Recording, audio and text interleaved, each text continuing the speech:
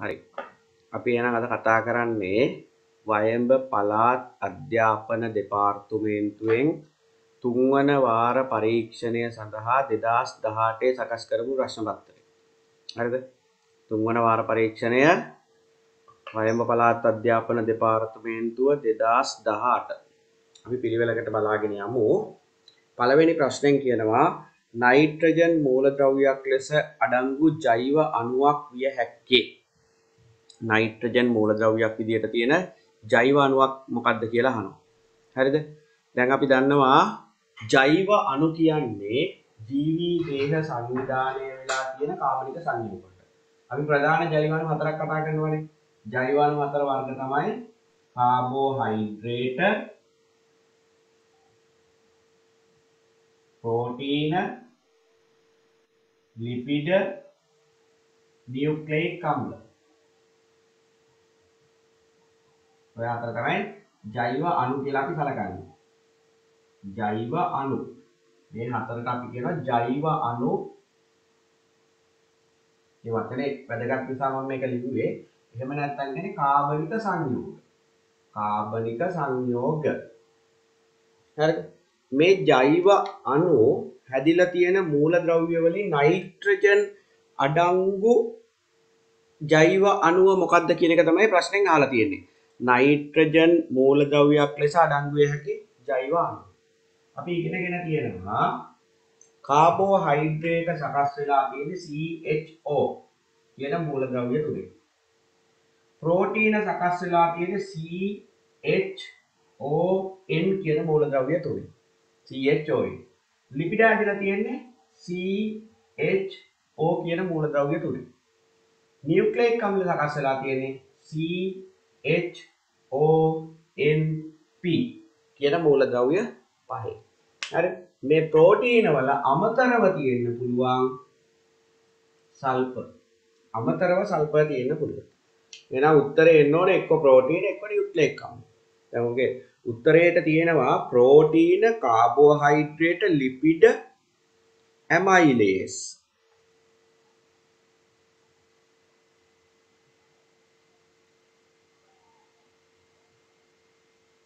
ඔයගොල්ලෝ මොකද්ද මේකට පිළිතුරක් විදියට ගන්නෙ අපිට උත්තර දෙකක් සම්පූර්ණයෙන් අතාරින්න පුළුවන් කාබෝහයිඩ්‍රේටයි ලිපිඩයි අතාරින්න පුළුවන්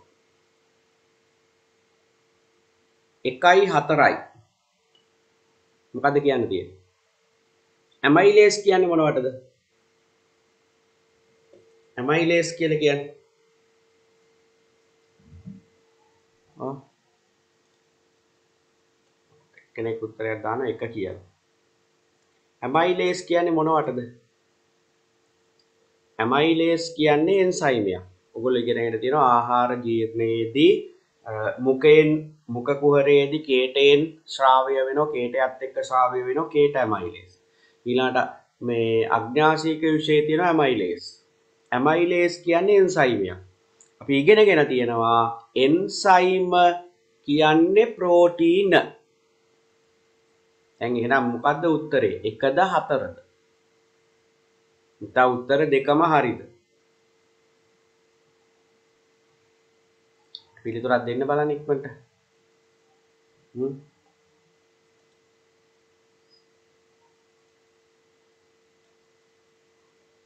සමහර අය උත්තරේ වෙනවා හතර කියලා. මොකද්ද කියන්න තියෙන්නේ? එකද හතරද? දෙකම දෙකේම නයිට්‍රජන් තියෙනවා.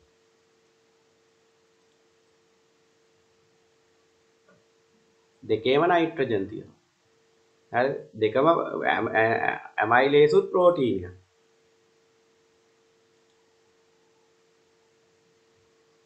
ගොඩක් අය උත්තරේ නම් එවනවා එක කියලා. සමහර අය එවනවා හතර කියලා. හරි දරුවෝ මේක බලා ගන්නකො මම ඒක නිසා තමයි ඔයගොල්ලන්ට ඉස්සෙල්ලාම මෙතන ජෛව අණු කියන්නේ මොකක්ද කියන එක ලියලා පෙන්නන්නේ ජෛව අණු කියන්නේ මේ හතරට. එහෙනම් ඉතින් මේ හතරෙන් එකක් වෙන්න එපයි උත්තරේ. නේ? ඇමයිලේස් කියන්නේ ජෛව අණුවක් නෙවෙයි. ඇමයිලේස් කියන්නේ ජෛව අණුවක් නෙවෙයි. එහෙනම් අපිට ඇමයිලේස් ලේසියෙන් මෙතනලා දාන්න පුළුවන් නේ ජෛව ප්‍රෝටීන වර්ගයක් තමයි. හරි. නමුත් ජෛව අණු කියලා කිව්වම මෙන්න මේ නම් හතර තමයි අපි බලාපොරොත්තු වෙන්නේ. මේ නම් හතර කාබෝහයිඩ්‍රේට්, ප්‍රෝටීන, ලිපිඩ, නියුක්ලික් අම්ල. උතන ඇමයිලේස් වල තියෙනවා නයිට්‍රජන්. හරිද? නයිට්‍රජන් තියෙන එක ප්‍රෝටීනයක්. නමුත් ජෛව අණුවක් කියලා උත්තරේ ඇහුවම කෙලින්ම උත්තරේ දාන්න ප්‍රෝටීන. පළවෙනි එක උත්තරේ. හරිද? නයිට්‍රජන් මූලද්‍රව්‍යයක් ලෙස අඩංගු වන ජෛව අණුව එහෙනම් පළවෙනි එක තමයි උත්තරේ. දෙවැනි ප්‍රශ්නෙට යමු. X නම් මූලද්‍රව්‍යයේ පරමාණුවක ඉලෙක්ට්‍රෝන වින්‍යාසය 2.8යි 3යි. ආවර්තිතා වගුවේ එය පිහිටන ආවර්තය. X වල ඉලෙක්ට්‍රෝන වින්‍යාසය 2.8යි 3යි ලු. X 2යි 8යි 3යි. මේ තුනෙන් කියන්නේ තුන්වෙනි කාණ්ඩයේ පිහිටලා තියෙනවා කියන එක. මේ අවසාන ශක්ති මට්ටමේ තියෙන ඉලෙක්ට්‍රෝන ගණන සමානයි කාණ්ඩ අංකයට. මෙතන තියෙන ශක්ති මට්ටම් තුනක්. ශක්ති මට්ටම් ගණන සමානයි ආවර්තංකයට. එහෙනම් ආවර්තංකය 3. කාණ්ඩ අංකයක් 3. මොකද අවසාන ශක්ති මට්ටමේ ඉලෙක්ට්‍රෝන ගාන සමාන වෙන්නේ කාණ්ඩ අංකයට. ඒක අහලා නැහැ. ප්‍රශ්නෙන් අහලා තියෙන්නේ ආවර්තය මොකක්ද කියලානේ උත්තරේ තුන්වෙනි ආවර්තය. පිළිතුර තුන්වන ආවර්තය. දෙවෙනි එක උත්තරේ. තුන්වෙනි ප්‍රශ්නය. ඒකක කාලයකදී විස්ථාපනය මැනීම සඳහා යොදාගත හැකි සම්මත ඒකකය විස්ථාපනය මැනීම ඒකකයේ මීටර. උත්තර 1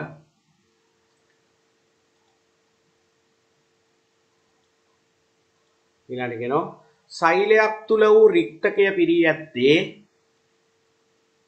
මොකද උත්තරේ? රික්තකයක් පිරීලා තියෙන්නේ මොන වයින්ද? අපි දන්නවා ශා ඔව් සෛල යුෂේ. මට කියන්න සෛල යුෂේ අඩංගු ද්‍රව්‍ය හතරක්. වර්ණක වර්ණක, ජලය සීනි සීනි, ලවණ වර්ගනේ. ලවණ වර්ග. ලවණ වර්ග වර්ණක ජලය සීනි ඔන්න සෛල යුෂයේ තියෙන වැඩිපුරම තියෙන ජලය සෛල යුෂයේ ඊට පස්සේ පහ ජලාණු අතර පවත්නා අන්තර් අණුක ආකර්ෂණ බල නිසා ජලයට ලැබී ඇති ගුණයක් නොවන්නේ අන්තර් අණුක ආකර්ෂණ එහෙම නැත්නම් අන්තර් අණුක බන්ධන එහෙම නැත්නම් හයිඩ්‍රජන් බන්ධන ඔය වචන තුනම සමානයි අන්තර් අණුක ආකර්ෂණ බල තව එකක් විදිහට අන්තර් අණුක බන්ධන එහෙම නැත්නම් හයිඩ්‍රජන් බන්ධන. දැන් ඕගොල්ලන්ට විභාගයට ආවොත් එම අන්තර් අණුක බන්ධන ජලාණු තුල පිහිටන ආකාරය ජලාණු අතර පිහිටන ආකාරය ඇඳ පෙන්වන්න කියනවා. මම දැකලා තියෙන පේපර් එකේ ව්‍යුහගත රචනා ප්‍රශ්න පත්‍රවල කොටුවක් දීලා ඔය කොටුවේ ඔය අන්තර් අණුක බන්ධන ඇති වෙන ආකාරය අඳින්න කියලා ප්‍රශ්න ඇවිල්ලා තියෙනවා. පුළුවන් වෙන්න ඕන. දැන් අපි ගත්තොත් මෙහෙම ජලාණු තුනක් මම අඳින්නම් මෙහෙම බලාගන්න. මේ තියෙන එක ජලාණුව. ජලාණුවේ හැඩය කෝණිකයි. මතක තියාගන්න. ජලාණුවේ හැඩය කෝණිකයි. හරිද? ඒක පරිසරය. ඔව්. තුන්වෙනි ප්‍රශ්නේ සර් එකක කාලයකදී විස්ථාපනය වුවම ප්‍රවේගය නෙමෙයිද? ආ ඒකක කාලික ඔව් හරි හරි. MS නේ හොඳයි. උත්තරේ උත්තරේ තුන. ඒකක මම ඒකත් නිකන් කිව්වේ මේ සරලව කිය. උත්තරේ තුන ඒකක කාලයකදී ගෙදිලා තියෙන ප්‍රවේගය. MS නේ එක. හරි එහෙම පටලැවෙන එක පාට අපි බලාගෙන යනකොට හරි උත්තරේ තුන ඒකේ එතන මං ජලාණු තුනක් ඇන්දා හරිද මේ ජලාණු වල ඔයගොල්ලෝ දන්නවා හයිඩ්‍රජන් පරමාණුව කුඩා ධන ද්‍රවයක් තියෙන මේ ඩෙල්ටා ධන කියලා මෙතන ලියලා තියෙන්නේ ඩෙල්ටා ධන හරිද කුඩා ධන ද්‍රවයක් තියෙන ඔක්සිජන් පරමාණුවේ කුඩා ඍණ ද්‍රවයක් තියෙන විදිහට ද්‍රවීකරණය වෙලා තියෙනවා. ධන ද්‍රවයක් හයිඩ්‍රජන් ඩෙල්ටා ධන, හයිඩ්‍රජන් ඩෙල්ටා ධන, ඔක්සිජන් ඩෙල්ටා ඍණ. හරිද? ධන ද්‍රව ඍණ ද්‍රව විදිහට මේ ද්‍රවීය අණු. මේ ද්‍රවීය අණුවක් තියෙන නිසා තමයි මේකේ මේ අන්තරණුක බන්ධන හටගන්නේ. දැන් මේ විදිහට ජලාණු ලං වෙලා ඉන්නකොට මේ ඔක්සිජන් පරමාණුවේ තියෙන මේ බන්ධන වලට සහභාගී නොවූ ඉලෙක්ට්‍රෝන යුගල් දෙකෙන් එකක්. හරිද? හොඳට බලාගෙන ඉන්න. බන්ධන වලට සහභාගී නොවූ ඉලෙක්ට්‍රෝන යුගල් දෙකෙන් එකක් මේ ළඟපාත තියෙන හයිඩ්‍රජන් වල ධන ද්‍රවයත් එක්ක මෙන්න මෙහෙම බැඳීමක් ඇති කරගන්නවා. මෙතනත් මෙන්න මෙහෙම බැඳීමක් ඇති කරගන්නවා. කියලා හිතන්න. මෙතනත් අපිට ඔය ඒක ඔන්න ඔය ඔය දෙක අපි ලකුණු කරගමු. මෙන්න මේ බැඳීම් වලට තමා කියන්නේ අන්තර් අණුක බන්ධන කියලා.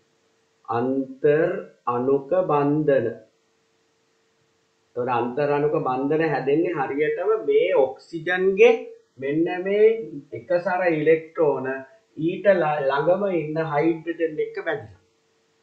මේ බන්ධන තියෙන නිසා ජලයේ තාපාංකය ඉහළ ගිහිල්ලා තියෙනවා. මේ ජලයේ තාපාංකය කියන්නේ ජලය වාෂ්ප කරන්න එපයි. රත් කරලා වාෂ්ප කරන්න ඕන. නටමින් වාෂ්ප වෙන උෂ්ණත්වය. එතකොට නටන්න නම් අමතර ශක්තියක් දෙන්න ඕනේ මේවා කඩන්න. කඩලා තමයි මේවා වෙන් වෙලා උඩට යන්නේ නටලා. හරිද? ජලය නටලා උඩට යන්නේ. මේවා බන්ධන කඩලා වෙනම ජලාණු වෙන් කළා එතනින් තමයි පෘෂ්ඨයේ උඩට ගිහිල්ලා වාෂ්ප වෙලා යන්නේ. එහෙනම් තාපාංකය ඉහළ ගියක් ගන්න. ඊළාට මේවා මේ බන්ධන තියෙන නිසා ජලාණු ලං වෙනවා. ලං වෙනකොට ඝනත්වය වැඩි වෙනවා. ඒක නිසා තමයි අයිස් වලට වඩා ජලයේ ඝනත්වය වැඩි වෙලා තියෙන්නේ. ඊළඟ මේ ජලාණු රත් කරන්න ගොඩාක් තාපය දෙන්න ඕනේ.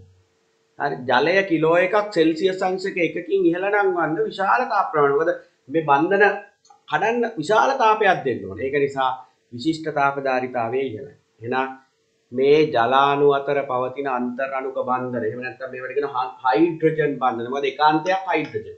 ඒක නිසා කියන හයිඩ්‍රජන් බන්ධන. හයිඩ්‍රජන් බන්ධන එහෙම නැත්නම් මේ අන්තර් අණුක බන්ධන තිබීම නිසා මොකද්ද ලැබිච්ච ගතිගුණ ජලයට ජලයේ තාපාංකය ඉහළගයක් ගැනීම ජලයේ විශිෂ්ට තාපධාරිතාවය ඉහළගයක් ගැනීම අයිස් වලට වඩා ඝනත්වය වැඩි වීම. ඒක නිසා තමයි ජලය මතු පිට අයිස් පාවෙන්නේ. ජලය මතු පිට අයිස් පාවීම නිසා තමයි ජලජ ජීවීන්ට ජීවත් වීමේ මාධ්‍ය සැකසෙන්නේ. හරිද? ඒකේ ගුණ වාසියක්. දැන් මේ ගතිගුණය නිසා ලැබෙන වාසියක් ඒක. නැත්තම් වෙන්නේ මේ සීත කාලෙදි වැව්වල පතුලේ ඉඳන් උඩට හි- මේ මිදෙන්නේ. එහෙම වෙන්නේ නැහැ. අයිස් උඩ පාවෙනකොට පතුලේ ජලය ඉතුරු වෙනවා. හරිද? ඒක වාසියක්. එහෙනම් මේකේ උත්තරේ එන්නේ 3. පිරිසිදු ජලය අවර්ණ වීම එහෙම එකක් වෙන්නේ නැහැ. ඒක ලේසි ඔයගොල්ලෝට ඒ ප්‍රශ්නේ අමාරු වුණාට උත්තර දිහා බැලුවම එකපාරට තේරෙනවා මේ පිරිසිදු ජලය අවර්ණ වීම ඒක සම්බන්ධයක් නැති නිසා ඒකට ගහන්න පුළුවන්. හයවැනි ප්‍රශ්නය නිව්ටන්ගේ තුන්වන නියමය ආදර්ශනය කිරීමට සුදුසු නිදසුන. තුන්වන නියමයෙන් කියන්නේ මොකද්ද? සර් ඔව්. සොය අන්තර්ණක බන්ධනය ස ජලානයය හැඩය මේ ඔතන කෝනික හැඩයක් කරන්තින්න ඔතන ඔක්සිජනුයි අතන කෝනයක් කෙනවනිස ඔව්. ඒක හැදිල තියෙන්නෙත්ස ඔය අන්තරණුක බන්ධන හින්දද ඒ. මෙන්න මේවා. එක සර ඉලෙක්ට්‍රෝන යුග. ඒවා පිහිටන විදිය අනුව. හරි? කෝනික හැඩය පිටලා තියෙන්නේ. අන්- දැන් ජලාණුවක් වෙම වෙනම ගත්තත් කෝනික හැඩයයි. අන්තරණුක බන්ධන තිබුණට නෙවෙයි තනියෙන් ගත්තත් ජලාණුවක් තනියම ගත්තම එතකොට අන්තරණුක බන්ධ- බන්ධන හැදෙන විදියක් නැහැනේ. ඒත් හැඩය කෝනිකයි. හරි? එතනට එක සර ඉලෙක්ට්‍රෝන යුගල් දෙකක් එක ළඟ තියෙනකොට ඇතිවන විකර්ෂණ බලයක් නිසා තමයි එහෙම වෙලා තියෙන්නේ. හරි. අපි යමු ඊළඟට මේ ඒක කොහොමත් අවකාශයේ ජලාණු පිහිටන හැඩය ඒක. ජලාණුවේ හැඩය කෝනිකයි. හරි. ඊට පස්සේ නිව්ටන්ගේ තුන්වන නියමය. මොකක්ද උත්තරේ? නිව්ටන්ගේ තුන්වන නියමයෙන් කියන්නේ මොකද්ද? සෑම ක්‍රියාවකටම විශාලතයෙන් සමාන වූ දිශාය ප්‍රතිවිරුද්ධ ප්‍රතික්‍රියාවක් ඇත. සෑම ක්‍රියාවකටම විශාලත්වයෙන් සමාන වූද දිශාවෙන් ප්‍රතිවිරුද්ධ වූද ප්‍රතික්‍රියාවක් ඇත. තොර පළවෙනි එකේ පොල් ගසකින් ගෙඩියක් වැටීම කියන්නේ ඒක මේ ක්‍රියාවයි ප්‍රතික්‍රියාවයි නෑ ගුරුත්වාකර්ෂණ බලය නිසා පොළව දිහාට ඇදගන්නා මේ දෙයක් නේ. දෙවෙනි එකේ කියන මෝටර් රථයක් ඒකාකාර. ඒකාකාර වේගයෙන් යනවනම් බාහිර අසමතුලිත බල ක්‍රියා කරන්නේ නැහැ. එහෙනම් ඒක ගන්න බෑ. මට කියන්නේ දෙවෙනි එක මේ මොන නියමයට දෙව දාන්න පුළුවන්? දෙවනි දෙවනි උත්තරේ. නිව්ටන්ගේ මොන නියමයට දෙව දාන්න පුළුවන්? පලවෙනි පළවෙනි නියමයනේ පළවෙනි නියමයත් මතක් කරගන්න. බාහිර අසමතුලිත බලයක් යෙදෙන තෙක් නිශ්චල වස්තු නිශ්චල වස්තු නිශ්චලහම් පවතින අතර චලනය ඒකාකර ඒකාකාර ප්‍රවේගිංචන ඒකාකාර ප්‍රවේගයෙන් චලනය. ඒතකොට ඒකාකාර ප්‍රවේගයෙන් කියන වචනේ තිබිච්ච ගමන් ඕගොල්ලෝගේ ඔළුවට එන්න ඕනේ ඒක අයිති වෙන්නේ නිව්ටන්ගේ පළවන නියමයට. හරිද? නිව්ටන්ගේ පළවන නියමයට කියන එක මතක තියාගන්න. ඊළඟට ඉහළට විසිකල ගල් කැටයක ප්‍රවේගය ඉහළ නගින විට ක්‍රමයෙන් අඩු වීම ඒ තියෙන්නේ ගුරුත්වාකර්ෂණයට විරුද්ධව මේ චලිතයක් වෙනකොට ඒ බලය නිසා සිද්ධ වෙන දෙයක්. එතකොට ඒක නිව්ටන්ගේ තුන්වන නියමය ආදර්ශනය කරන්න බෑ. උත්තරේ එන්නේ 4. වාතය පිට වූ බැලුණයක කට විවෘත කර මුදා හැරිය විටය වේගයෙන් වාතය තුල ගමන් කිරීම. හුලම් පුරවපු බැලුණයක් අතෑරියම අර බැලුනේ කටින් හුලං එළියට එනකොට ඊට විරුද්ධ අතර චලනය වෙනවා. දැන් ඔතන ওই නිව්ටන්ගේ තුන්වන නියමයේදී අපි යොදා යොදන වචන දෙකක් යෙදුම් දෙකක් යොදනවා ක්‍රියාව හා ප්‍රතික්‍රියාව කියලා. මොකද්ද ඔය ක්‍රියාවයි ප්‍රතික්‍රියාවයි කියන්නේ? ක්‍රියාව ප්‍රතික්‍රියාව ගොඩක් වෙලාට නිව්ටන්ගේ තුන්වන නියමයෙන් ප්‍රශ්නයක් ආවොත් ඒකට නිදසුනක් ලියලා ඔය ක්‍රියාවයි ප්‍රතික්‍රියාවයි වෙන් කරලා ලියන්න කියනවා. ක්‍රියාව කියන්නේ පළමු වස්තුවෙන් දෙවන වස්තුව මත ඇති කරන බලය. ප්‍රතික්‍රියාව කියන්නේ දෙවන වස්තුවෙන් පළවෙනි වස්තුව මත ඇති කරන බලය. දැන් මම මේ බිත්තියට අයියෙන් මගේ අතින් ගැහුවොත් ක්‍රියාව තමයි අතින් බිත්තියට බලයක් යෙදීම. ප්‍රතික්‍රියාව තමයි බිත්තියෙන් අතට බලයක් යෙදීම. ඒකනේ අපිට අත රිදෙන්නේ. බිත්තියෙන් අතට තල්ලුවක් දෙනවා ඒක. ඒක ප්‍රතික්‍රියාව. දැන් උතන ක්‍රියාව තමයි බැලුණයෙන් වාතය පිටවීම. ක්‍රියාව බැලුණයෙන් වාතය පිටවීම. කියන්නේ බැලුණේ කටින් වාතය එළියට පැමිණීම. ප්‍රතික්‍රියාව තමයි ඊට විරුද්ධ දිශාවට බැලුණේ චලනය වීම. ඔය ක්‍රියාවයි ප්‍රතික්‍රියාවයි වෙන් කළා ලියන්න ඕගොල්ලන්ට පුළුවන් වෙන්න ඕන. දැන් ඔරුවක් අපි හබලකින් ඔරු පදිනවා නම් හබලකින් ඔරු පැදීම නිව්ටන්ගේ තුන්වෙනි නියමයට අයිතිනේ. හබලකින් ඔරු පදිද්දී අපි ජලය පිටුපසට තල්ලු කරනවා. ඒක තමයි ක්‍රියාව. හබලෙන් ජලය පිටුපසට තල්ලු කිරීම. ඒක ක්‍රියාව. ප්‍රතික්‍රියාව තමයි ජලයෙන් ඔරුව ඉදිරියට තල්ලු කිරීම. හබලෙන් වතුර පිටිපස්සට තල්ලු කරනකොට ජලයෙන් ඔරුව ඉස්සරහට තල්ලු කරනවා. ඒක ප්‍රතික්‍රියාව. ඒ වගේ දැන් තුවක්කුවක් වාංගු වීම, ක්‍රීඩකයෙක් ධාවනය ආරම්භයට පෙර පාදවලින් පොළව තද කිරීම නේ. ඕවනේ අපි ගන්න උදාහරණ විදියට නිව්ටන්ගේ රොකට්ටුවක චලිතය, මල් විඩිල්ලක චලිතය, නිව්ටන්ගේ තුන්වෙනි නියමයේ ඒක ක්‍රියාව ප්‍රතික්‍රියාව පැහැදිලි කරගන්න පුළුවන් වෙන්නේ. හරි. ඊට පස්සේ තියෙනවා හත්වෙනි ප්‍රශ්නේ සෛලම පටකය තුළ අඩංගු වන සජීවී සෛල විශේෂය. අපි මේ ඊයේ කරපු පේපර් එකේ පටක කොටසේ මම ඔය සජීවී අජීවී කියන කොටස ලිව්වා. සෛලම පටකේ සෛලම පටකේ සෛල වර්ග හතරක් තියෙනවා වාහිනී වාහකාප තන්තු මෘදුස්තර කියලා. තුනක් අජීවී එකක් සජීවී කියලා මම ලිව්වා. ඊළඟට ෆ්ලෝයම් පටකේ මම ලිව්වා ඒක අනිත් පැත්ත. ෆ්ලෝයම් පටකේ පෙනේර නල සෛල සහචර සෛල මෘදුස්තර තියෙනවා. ඊළඟට තන්තු තියෙන තුනක් සජීවී එකක් අජීවී. එමය මතක තියන්න මොකද්ද මේකේ උත්තරේ? හතේ. ශෛලමී මෘදුස්තර සෛලමීය මෘදුස්තර සෛලමීය මෘදුස්තර මතක තියාගන්න සජීවී. වාහිනී වාහකාභ තන්තු අජීවී. හරි. රූපේ දැක්වෙන ප්‍රතික්‍රියාවේදී ලෝහයක් අම්ලයක් සමග ප්‍රතික්‍රියා කිරීම මැග්නීසියම් ධන HCl අපි ඉගෙනගෙන තියෙන ලෝහ අම්ල සමග ප්‍රතික්‍රියා කළ විට හයිඩ්‍රජන් පිට වෙනවා. දෙක ඒක විස්ථාපන ප්‍රතික්‍රියාවක්. Mg ධන දෙකයි HCl ඊතලයක් MgCl2 ධන හයිඩ්‍රජන්. වායු බුබුලු පිට වෙනවා. මැග්නීසියම් පටිය දිය වෙනවා. හරිද? භාජනයේ රත් වෙනවා. ඒක තමයි නිරීක්ෂණ ටික. එහෙනම් අපිට උත්තර ගන්න පුළුවන් ලේසියෙන් වායු බුබුලු පිටවන අතර නලය රත්තේ එක හරි. වායු බුබුලු පිටවන අතර නලය සිසිල් වේ වැරදි. වායු බුබුලු පිට නොවන නොවන වැරදි උත්තරේ ඒක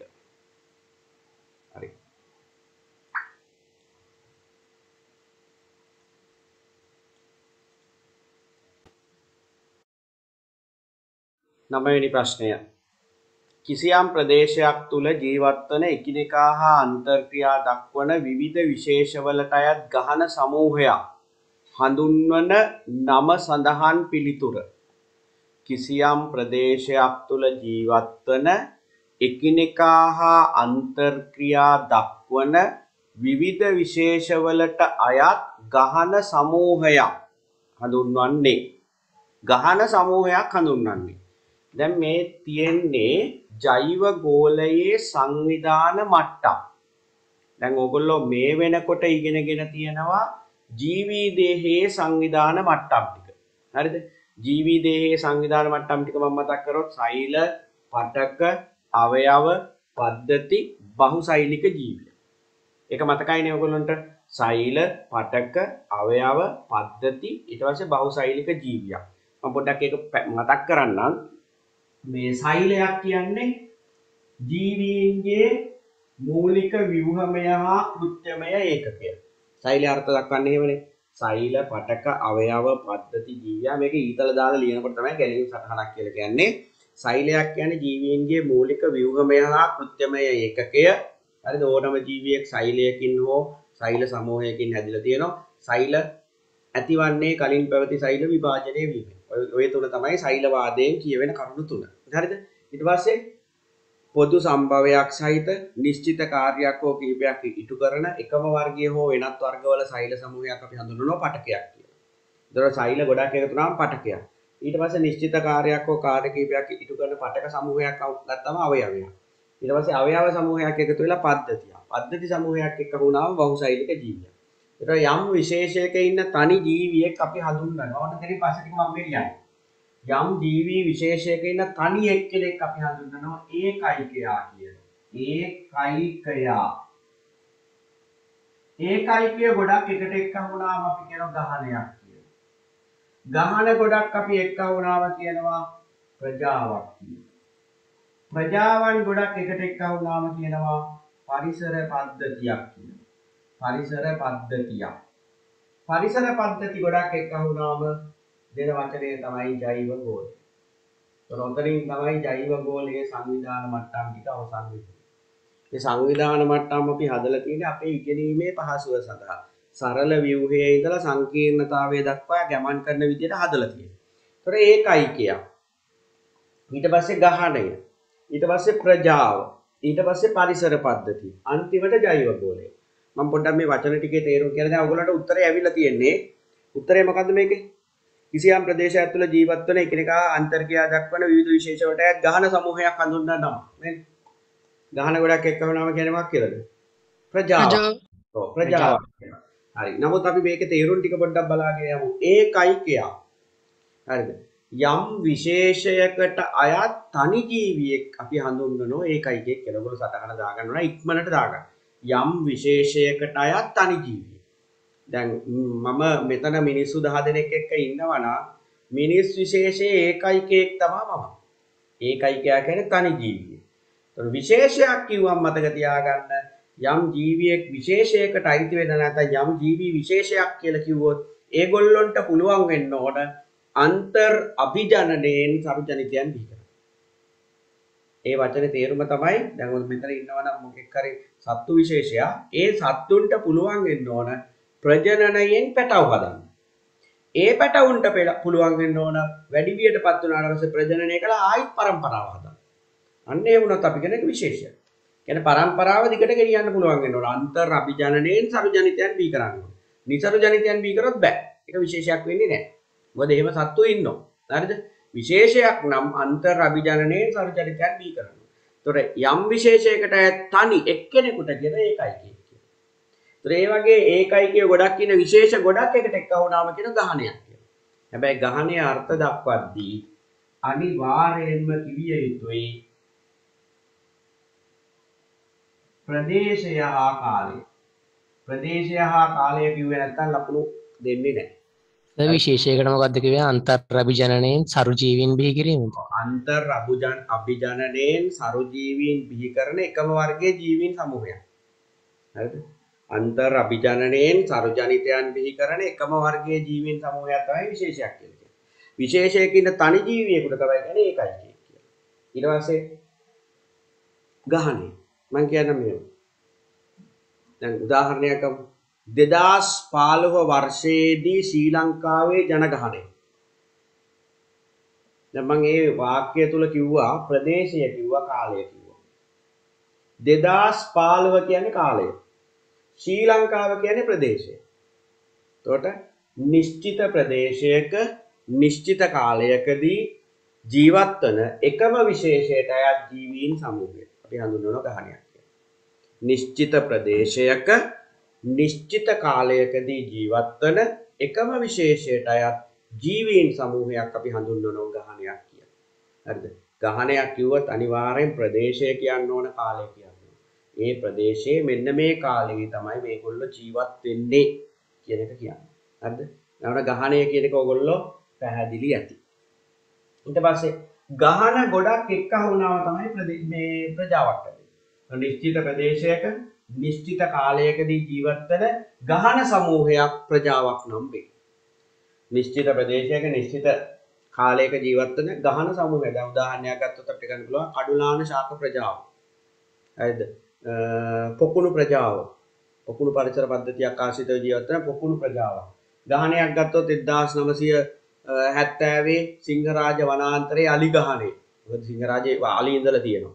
හරිද? 2019 යාල වනෝද්‍යානයේ මුව ගහනේ. හරිද? 2021 කොළඹ නගරයේ කපුටු ගහනේ. ගන්න පුළුවන්. ගහනයකට උදාහරණ. ඊට පස්සේ පරිසර පද්ධතිය. පරිසර පද්ධතිය දැන් මේක ලේසි. මෙතන නිශ්චිත ප්‍රදේශයක නිශ්චිත කාලයක ජීවත් වෙන ගහන සමූහය. පරිසර පද්ධතියක් කිව්වම යම් නිශ්චිත ප්‍රදේශයක නිශ්චිත ප්‍රදේශයක ජීවත් වන නිශ්චිත ප්‍රදේශයක ජීවත් වන ජීවීන් සියල්ලක් ජීවීන් සියල්ලක් ජීවී හා අජීවී ද්‍රව්‍ය අතර පවතින අන්තර්ක්‍රියා සියල්ලක් ජීවීන් සියල්ලක් ජීවී හා අජීවී.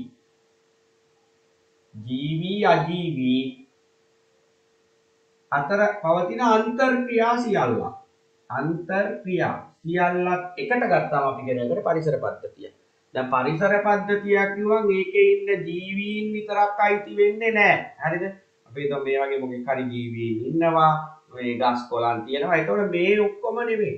ජීවීන් අජීවීන් දෙගොල්ලයි ඒගොල්ලෝ අතර තියෙන අන්තර්ක්‍රියා ඔක්කොමයි. ඔය ඔක්කොම ටික එකට ගත්තම අපි කියන පරිසර පද්ධතිය. හරිද? දැන් ප්‍රජාවක් කිව්වම එතන ඒකේ ජීවී එක එක જાතිය ජීවීන් ඔක්කොම අන්තර්ක්‍රියා ගත්තේ නැහැ. පරිසර පද්ධතිය කිව්වා ජීවීන් අජීවී ද්‍රව්‍ය හා ඒවා අතර පවතින අන්තර්ක්‍රියා.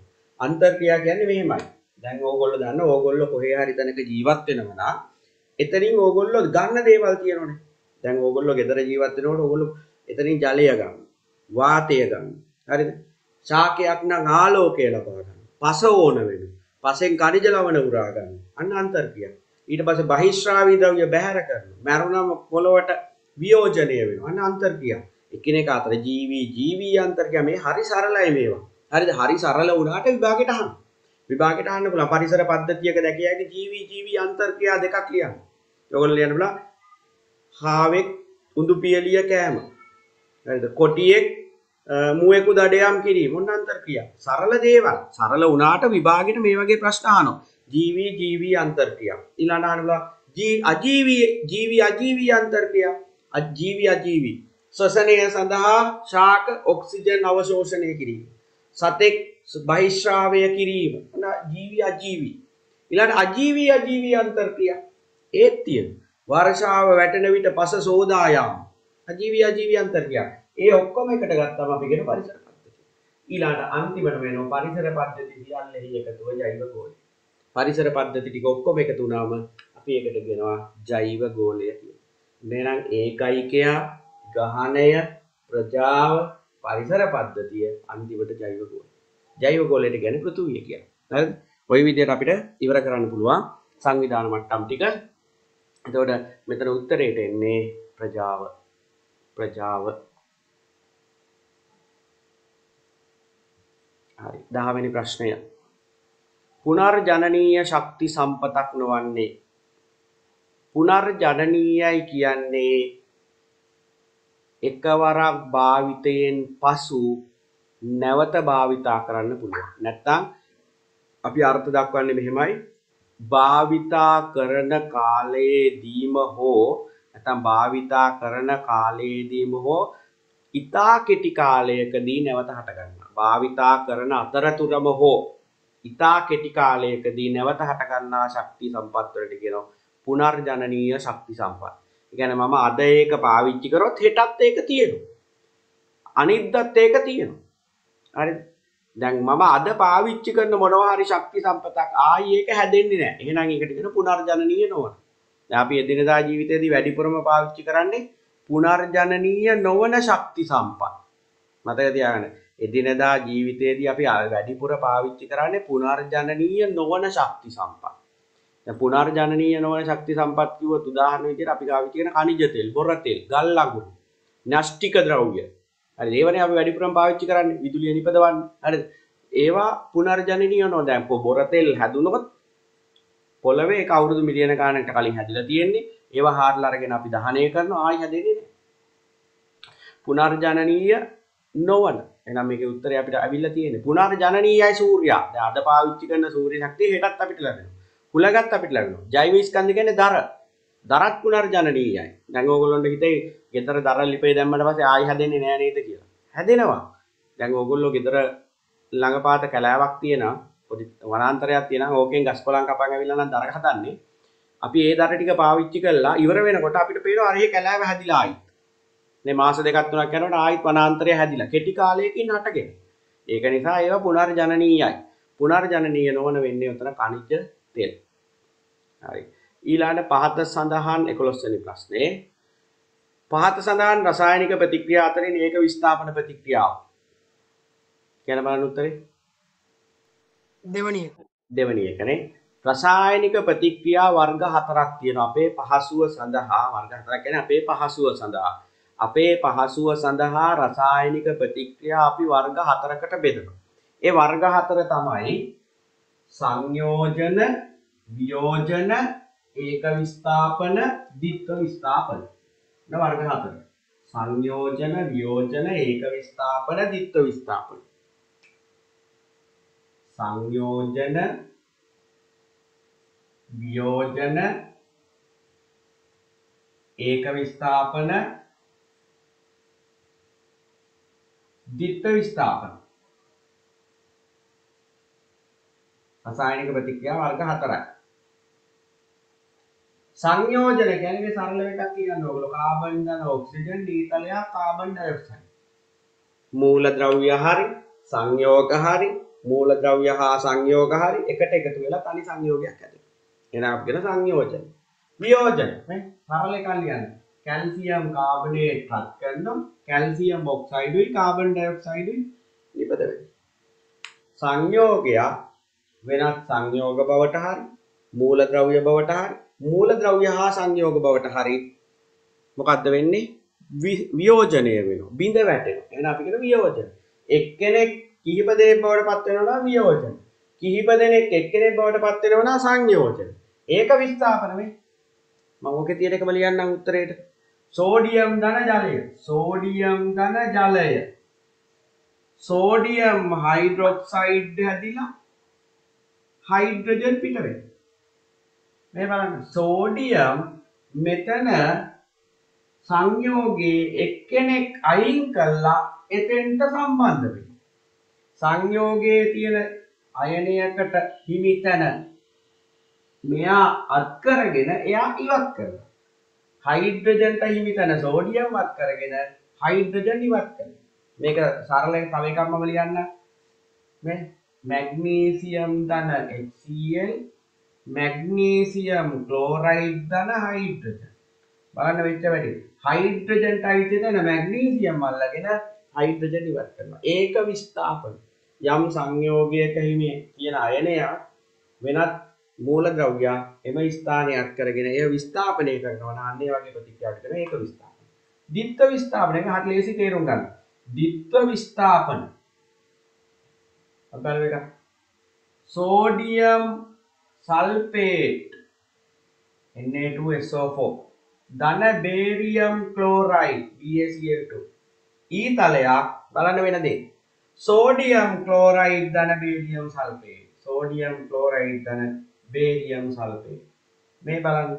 බේ- මෙතන තිබිච්ච සෝඩියම් මෙතන තියෙන ක්ලෝරීන් එක්ක බැඳෙනවා. මෙතන තියෙන බේරියම් මෙතන තියෙන සල්ෆේට් එක්ක බැඳෙනවා. දෙන්න හුව මාරු වෙනවා. මේවයි අයන කණ්ඩක මාරු වෙනවා හරිද? සෝඩියම් ධනායනය ක්ලෝරයිඩ් ඍණායනයත් එක්ක බැඳිලා බේරියම් ධන දෙක අයනය සල්ෆේට් ඍණ දෙක අයනයත් එක්ක බැඳිලා දෙන්න මාරු වෙනවා මෙන්න මේ වගේ. කියන්නේ දෙපැත්ත මාරු වෙලා තියෙනවා ඒක මතක තියාගන්න තිත්තු ස්ථාපන. මෙයා මෙයාගේ කොටසකුත් එක මෙයා මෙයාගේ කොටසකුත් එක බැඳෙනවා නම් දිත් ඔන්න අපි ඉගෙනීමේ පහසුව සඳහා මු- මේ සමීකරණ බෙදන කොටස් හතර රසායනික සංයෝජන ප්‍රතික්‍රියා රසායනික වියෝජන ප්‍රතික්‍රියා ඒක විස්ථාපන ප්‍රතික්‍රියා ද්විත්ව විස්ථාපන ප්‍රතික්‍රියා. රෝග පිළිතුර එන්නේ ඒක විස්ථාපන මේ ඒක විස්ථාපන උත්තරේ එන්නේ දෙක පළවෙනි එක තියෙන්නේ ස- මේ වියෝජන ප්‍රතික්‍රියාවක් තුන්වෙනි එක සංයෝජන ප්‍රතික්‍රියාවක් හතරවෙනි එක ද්විත්ව විස්ථාපන ප්‍රතික්‍රියාව. බලා බලලා පොඩි සටහනක් දාගන්න එක. හතරවෙනි එක ද්විත්ව විස්ථාපන ප්‍රතික්‍රියාවක්.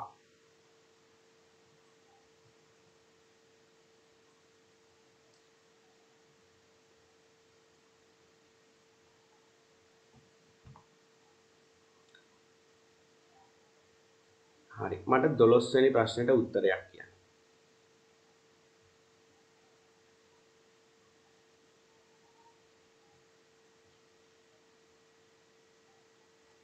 දොළොස්වැනි ප්‍රශ්නයට උත්තරය මොකද මම බලාපොරොත්තු වෙන්නේ මම මේ ඊයේ පේපර් එකෙත් කතා කරා. දොළොස්වැනි ප්‍රශ්නයට උත්තරය.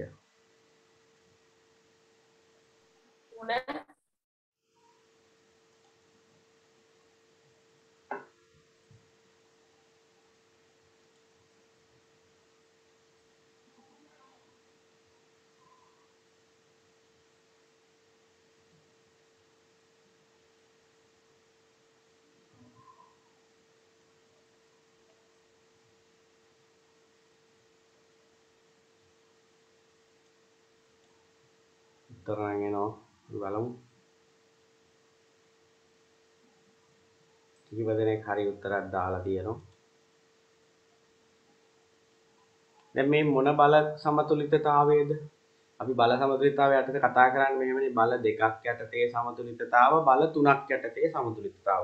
බල තුනක් යටතේ සමතුලිතතාව අපි ආපහු කොටස් දෙකකට බෙදනවා. ඒකතල සමාන්තර බල සමතුලිතතාව ඒකතල ආනත බල සමතුලිතතාව. එමයිනේ අපි බෙදන්නේ නේ? හරි. එහෙනම් බලන්න මොකද්ද මේක කියලා තියෙන්නේ කියලා.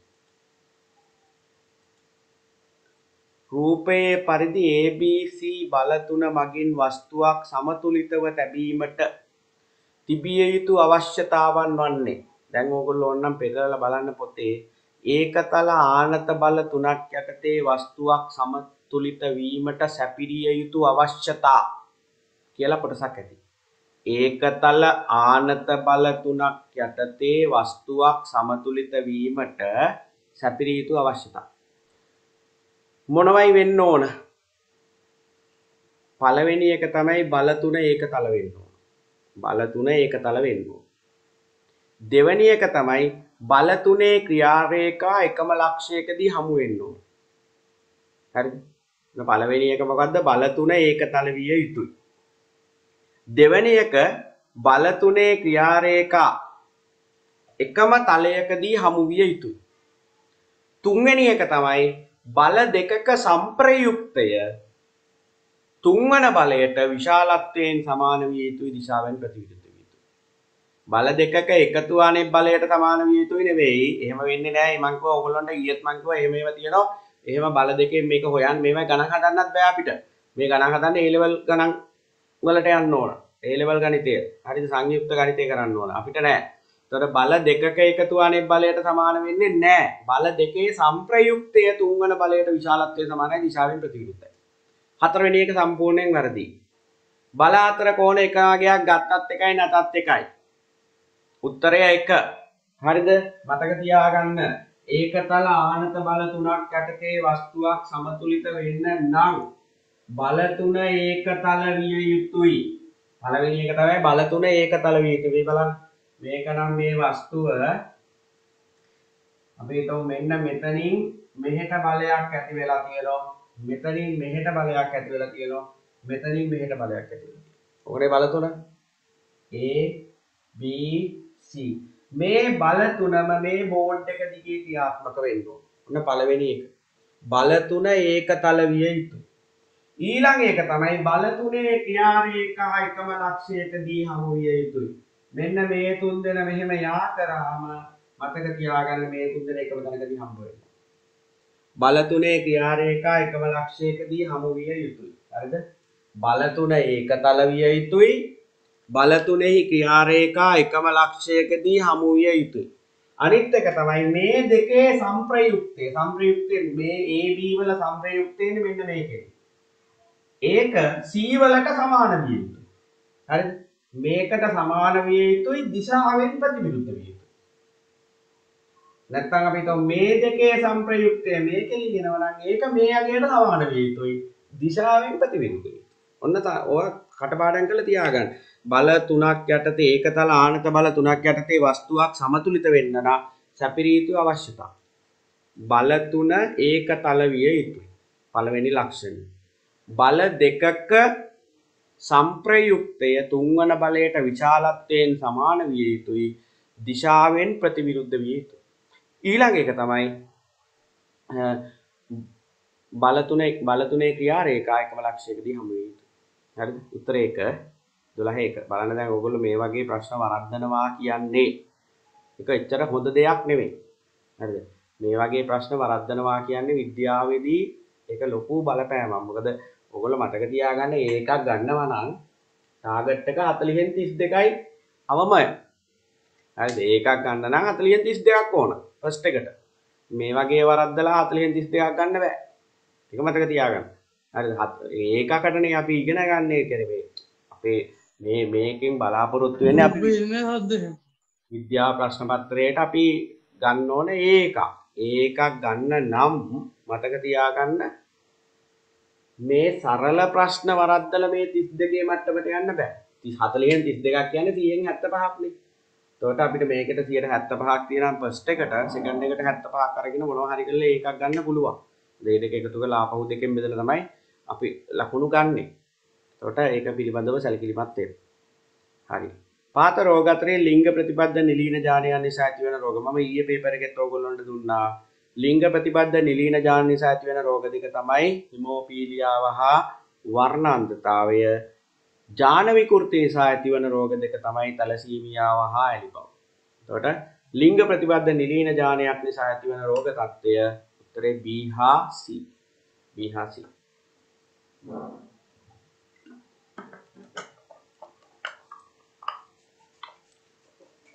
දැන් ඕගොල්ලන්ට අර මම කියන කරුණු මේ පේපර් කරනකොට පැහැදිලි වෙනවා ඇති. දැන් මම ඕගොල්ලන්ට කිව්වා මේක පේපරයක් නම් මම හදන පේපර් නෙවෙයි. මම සාමාන්‍යයෙන් අර විභාග පත්- මට්ටමේ ප්‍රශ්න පත්‍ර තෝරගෙන ඒ ප්‍රශ්න පත්‍ර සාකච්ඡා කරන එක කිව්වා මම කරන්නේ. මම ඕගොල්ලන්ට කිව්වා මේ වගේ ප්‍රශ්න පත්‍ර 10ක් විතර කරනකොට ඕගොල්ලොන්ටම තේරුම් ගන්න පුළුවන් කිව්වා එකම ප්‍රශ්නේ නේද මේ නැවත නැවත තියෙන්නේ කියලා. දැන් බලන්න මම කිව්ව කතාව බොරුද ඇත්තද කියලා කල්පනා කරලා ඊයේ අපි මේ ප්‍රශ්න වලින් කීයක් සාකච්ඡා කරාද කියන එක. දැන් මේ බල සමතුලිතතාව ප්‍රශ්නයක් අපි ඊයේ සාකච්ඡා කරා. ලිංග ප්‍රතිබද්ධ නිලීන ජාන කතන්දරේ අපි සාකච්ඡා කරා. හරිද? දැන් ඒ වගේ මට මතකයි ඊට කලිනුත් ප්‍රශ්න හම්බ වුණා. يعني එකම ප්‍රශ්නේ පොඩි වෙනස්කම් තියෙනවා. නමුත් අපි ඉගෙන ගන්න තියරිය එකයි. ඒතකොට ඒ වගේ දහ පාරක් විතර ඉගෙන ගන්නවා කියන්නේ ඊළඟ ප්‍රශ්නේ ඔයගොල්ලොන්ට අර මේ අර නුහුරු නැහැ. අපි කියන්නේ හුරු නැති ගතියක් ඒක නැති වෙලා යනවා. හරිද? ප්‍රශ්නේ දැක්ක ගමන් ආ මේ ප්‍රශ්නේ මට හුරුයි කියලා. අන්න ඒක තමයි වෙන්න ඕන. මේ ප්‍රශ්න පත්‍ර පන්තියකින් වෙන්න ඕන ප්‍රශ්නයක් දැක්ක ගමන් ඒක සමීප වෙන්න ඕන. ඒ කියන්නේ ඒ ප්‍රශ්නේ අපි පිළිතුරු ලියලා තියෙනවා මීට කලින්. එතකොට අපිට එච්චර මේක ගැන බය වෙන්න ඕන නැහැ. මේ වගේ හැඩ අපි දැකලා තියෙනවා. හරිද? අන්න ඒ විදිහේ හැඟීමක් එන්න ඕන. එතකොට ඔයගොල්ලන්ට අර 100%ක් ප්‍රශ්නේ බැරි වුණත් සම්භාවිතාවය අනුව 50ක් විතර අතාරින්න පුළුවන්. හරිද? ඒ කියන්නේ අපි එහෙම කරන්න පුළුවන්. ඕකේ ABC සමාන වෙන්නේ නැහැ. හරිද? එහෙම වෙන්නේ නැහැ. හැමතිස්සෙම මේක වෙන්නේ නැහැ. එහෙම වෙන්න නම් අතන කෝණ දෙන්න ඕන. හරිද? කෝණ දුන්නොත් විතරයි ABC සමානයි කියලා ගන්නේ. එහෙම මේ කෝණ ඒව එහෙම ගන්න බෑ. එහෙම නොවි තියෙන්න පුළුවන්. ඒක නිසා ඒ එහෙම ගන්නව නම් අර ඊට කලින් ගානේ වගේ ගන්නව නම් කෝණ සමාන වෙන්න ඕනේ. ඒ කෝණ දෙන්න ඕනේ. එහෙම දීලා නැහැනේ මේකේ. ඒක නිසා මේකේ උත්තරෙන්නේ බල තුනේ ඒක තලවි. හරිද? ඒක මම කියන දේ තේරුම් ගන්න මේ මේ පේපර් ක්ලාස් එකේ වටිනකම ඒකයි. මේ ප්‍රශ්න ප- ඒ වටින පේපර් ක්ලාස් එක කියන්නේ මේකයි මතක තියාගන්න තව දෙයක් පේපර් ක්ලාස් එක කියන්නේ ප්‍රශ්නේ කියලා උත්තරේ කියාගෙන යන එකක් නෙවෙයි. එතකොට ඕගොල්ලන්ට පුළුවන් ඒ જાතිය ප්‍රශ්නයක් ආවොත් උත්තරයක් ලියන්න. ඊට එහයින් ප්‍රශ්නයක් එනකොට උත්තරයක් ලියන්න බෑ. එහෙම එන්නේ නැහැ. පේපර් එකේ තියෙන ප්‍රශ්නේ ආපහු එන්නේ නැහැ. එහෙම නම් ඉතින් විද්‍යාව කවුරු හරි මිනිස්සෙක් පේපර් හදන්න ඕනේ නැහැනේ. මේ පැනල් එකක් අවශ්‍ය නැහැනේ පේපර් හදන්න. එහෙනම් කරන්න තියෙන්නේ පරණ ප්‍රශ්න පත්‍ර ටිකක් අරගෙන කාට හරි දෙනවා මෙන්න මේකේ ප්‍රශ්න ටිකක් තෝරලා පේපර් එකක් හදලා දෙන්න කියලා. එහෙම එන්නේ නැහැ. අලුත් ප්‍රශ්නයක් එන්නේ. ඒකත් මතක තියාගන්න. මම ඒකයි මේ හැම පා- ප්‍රශ්නයකටම තියරියක් කියලා දෙන්නේ. ආපහු නැවත විෂය කරුණු මතක් කරන්නේ ඒකයි. එතකොට මේ ප්‍රශ්නය මේ ප්‍රශ්නේ වෙන්නේ නැහනේ. ඊළඟ එක තේරුම් ගන්නයි අපේ ඔළුවේ හැදිලා තියෙන්න ඕනේ. අපේ ඔළුවේ හැදිලා තියෙන්න ඕනේ ඊළඟ ප්‍රශ්නේ තේරුම් ගන්න. මේ ප්‍රශ්නේ මත ඊළඟ ප්‍රශ්නේ එන්නේ කොහොමද කියන එක. එතකොට එහෙම 10ක් 15ක් කරනකොට සමහර විට ඒ ඔක්කොම එකතු වෙලා ඒකම එන්න පුළුවන්. හරිද? ඊළඟ අපේ අමතක වීම. දැන් තව එකක් ඒක විද්‍යාව කියන්නේ මහා විශ්ය මේ ඔය බල තුන සමාන වෙන්නේ නැහැ. සමාන වෙන්නත් පුළුවන් නොවෙන්නත් පුළුවන්. හරිද? මම ඒකයි කිව්වේ ඉස්සෙල්ලා. සමාන වෙන්නත් පුළුවන් නොවෙන්නත් පුළුවන්. ඒක නිසා අපිට එහෙම ගන්න බෑ. හරිද? ඒ සමාන වෙන්නත් පුළුවන් නොවෙන්නත් පුළුවන්. ඒක නිසා ඒ කෝණ වෙනස් වෙන්න පුළුවන්. ඒක නිසා අපි ඒක ගන්නෙ නැහැ. අපිට ඊට වඩා මේක හරි 100%ක් හරි බල තුන එකතල වීම. හරිද? මේ දැන් මොකද්ද මං කිය කී හිටියේ මේ ප්‍රශ්න පත්තරයක අර අපිට දැනගන්න ඕන දේ තමයි ඒක. මේ ප්‍රශ්න පත්තර කිරීමෙන් වෙන්න ඕනේ ඒක. හරිද? ඒක පැහැදිලිව අවධාරණය කරගන්න. ඒකයි මම කියන්නේ හැම එකක්ම පුළුවන් තරම් මේකේ නෝට් එකක් දාගන්න කියලා. මොකද එතකොට අර අමතක වීම දැන් මේ විෂය නිර්දේශය වැඩි නිසා ඔයගොල්ලන්ට පිටු සෑහෙන ප්‍රමාණයක් තියෙනවා. ඒ ඔක්කොම පාඩම් කරන්න ඕනේ නැහැ. දැන් ඕගොල්ලන්ට මම කියන දේවල් පැහැදිලි වෙනවා ඇති. ඕගොල්ලෝ ගොඩක් වෙලාවට වැඩිපුරම පාඩම් කරන්නේ ජීව විද්‍යාව පාඩම්. විශේෂයෙන්ම 10 වසරේ පෙළ පොත්වල පළවෙනි පාඩම් 11 වසරේ පෙළ පොත්වල පළවෙනි පාඩම්. දැන් 10 වසරේ පෙළ පොත්වල පළවෙනි පාඩම් ගත්තොත් මේ පළවෙනි පොතේ තියෙන ජීවයේ රසායනික පදනම. දෙවෙනි පොතේ තියෙන වර්ගීකරණය. ඔය මම වැඩිපුරම පාඩම් කරන පාඩම් මම ඔයගොල්ලන්ට කියලා. ඔය දෙක පාඩම් කරනවා. ඊළඟට 11 වසරේ පළවෙනි පොතේ තියෙන පටක. ඕක වැඩිපුර පාඩම් කරනවා. තාපේ පාඩම් කරන්න ඒක අතාරිනවා. ඒ තාපේ භෞතික විද්‍යාවනේ ඊළඟ පොතේ තියෙන්නේ. හරිද? ඒ විදියට පාඩම් කරන්න. එහෙම පාඩම් කරලා වැඩක් නැහැ. දැන් ඕගොල්ලෝ මම කියන දේවල් පැහැදිලි නැති පේපර් එකේ. පේපර් එකෙන් ඔය පාඩම් වලින් ප්‍රශ්න කීයද තියෙන්නේ? හරිද? ඒක තමයි මේ විද්‍යාවට ලකුණු අඩු වෙන හේතුව. මම මම හොයාගත්ත දේවල් ඔය. හරිද? මම හොයාගත්ත විදිහට විද්‍යාවට ලකුණු මම මේ අර මගේ මැනීමක් විදිහට මම හොයාගත්ත දේවල් ඒ විද්‍යාවට ලකුණු අඩු වෙන්න හේතුව තමයි පාඩම් කරන්නේ ඕනේ නැති දේවල්. දන්නේ නැහැ විභාගෙට එන්නේ මොනවද කියලා දන්නේ නැහැ. මහා ලොකු ප්‍රමාණයක් තියෙන සමහර ළමයි උත්සාහ කරනවා මුළු පොත් දෙකම කටපාඩම් කරන්න. කටපාඩම් කරලා විද්‍යාවට උත්තර ලකුණු ගන්න බෑ. හරිද? අනිත් එක තමයි කම්මැලිකම. හරිද? සමහර වෙලාවට මේ වගේ පේපර් ක්ලාස් එකක් කරනකොට දවසක් දෙකක් ඇවිල්ලා ඊට පස්සේ හිතනවා අපෝ පා වෙනෝ මේ කට්ට කන්න තේ අමාරුයි. කට්ට කන්න අමාරුයි. ඕගොල්ලන්ට මේ ඔය පහුගිය දවස්වල මම බලපු වීඩියෝස් ටිකක් තියෙනවා මම මේ ටික දාන්නම් මේවට මිනිස්සු කොච්චර දුක් විඳිනවද කියලා ජීවිත ජීවත් වෙන්න. හරිද? ඒ කියන්නේ මේ තමන්ගේ තැන මේ අපි අපිට එතකොට හිතනවා අපි මොනවද කරලා කියන්නේ කියලා. මිනිස්සුන්ට ආපු ප්‍රශ්නත් එක්ක මට හොඳ වීඩියෝස් ටිකක් හම්බ වුණා. සාකච්ඡා ටිකක් කතා කරන ඒවා ටිකක් එහෙම මම ඒවා එකක් දෙකක් දාන්නම් ඒවා අහලා බලන්න අහුවන් ඕගොල්ලොන්ට හිතෙයි අපි මොන තත්ත්වයකද ඉන්නේ මිනිස්සු සමහර මිනිස්සු මොන වගේ තත්ත්වයන් වල ඉඳලාද ඒගොල්ලෝ දැන් ඉන්න තත්ත්වයට ආවේ කියලා. හරිද? අපිට හිතා ගන්න බෑ මටත් හිතා ගන්න බෑ සමහර දේවල්. එච්චරට සංකීර්ණයි.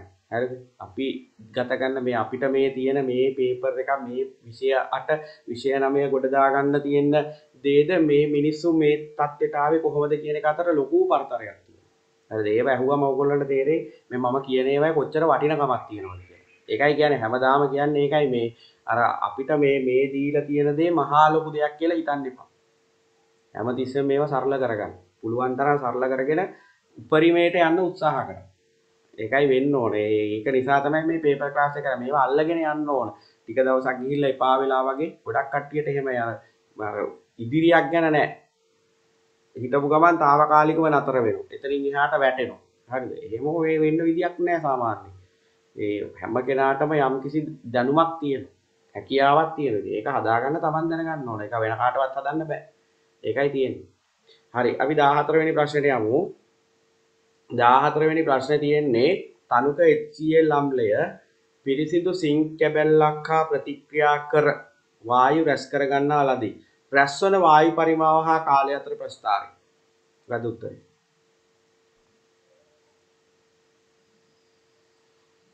HCl අම්ලය පිරිසිදු සිංක් කැබැල්ලක් හා ප්‍රතික්‍රියා කර වායුව රැස් කර ගන්නා ලදී. රැස්වන වායු පරිමාව හා කාලය අතර ප්‍රස්ථාරය. පහත කවරක්ද? කියන්න බලන්න උත්තරයක්.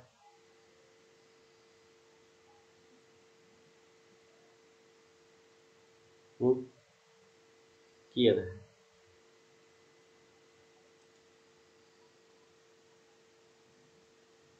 එක උත්තරයක් ආවා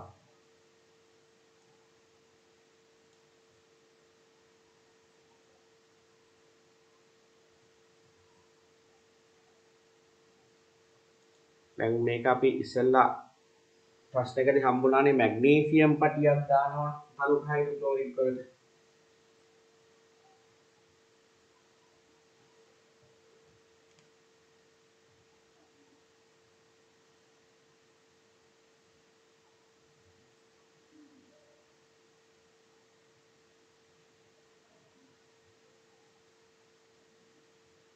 හිතන්න මේ වගේ මොනවා හරි ක්‍රමයකින් මේක එකතු කරගන්නවා කියලා. මේක නෙමෙයි අහන්නේ එකතු වෙන ප්‍රමාණය නෙමෙයි අහන්නේ. හරිද? එකතු වෙන ප්‍රමාණය නෙමෙයි. දැන් මෙන්න මේක තියෙන්නේ තනුක හයිඩ්‍රොක්ලෝරික්. තනුක HCl. මේකට දාන සිංක් කැවල්ලා. සිංක්. මට කියන්න වෙන වැඩේ මේකේ. තනුක සල්ෆියුරික් මේ තනුක හයිඩ්‍රොක්ලෝරික් වලට සිංක් දැම්මම සිංක් ධන HCl ඊතලයක් සිංක් ක්ලෝරයිඩ් ධන හයිඩ්‍රජන්. ඔන්න හයිඩ්‍රජන් පිට වෙනවා. ඒක දා- දාලා ටික වෙලා කරනකොට ඔන්න බුබුලු බුබුලු බුබුලු පිට වෙනවා.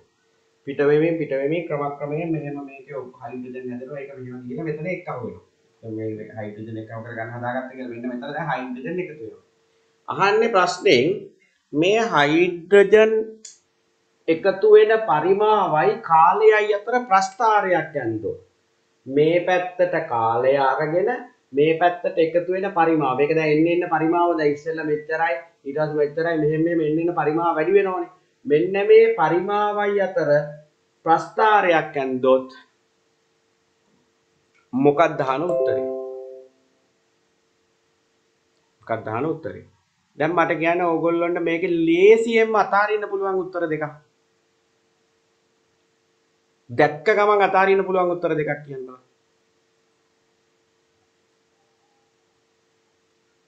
දැක්ක ගමන් අතාරින්න පුළුවන් උත්තර තුනක් දෙකක් නෙවෙයි. තුනක් අතාරින්න පුළුවන්.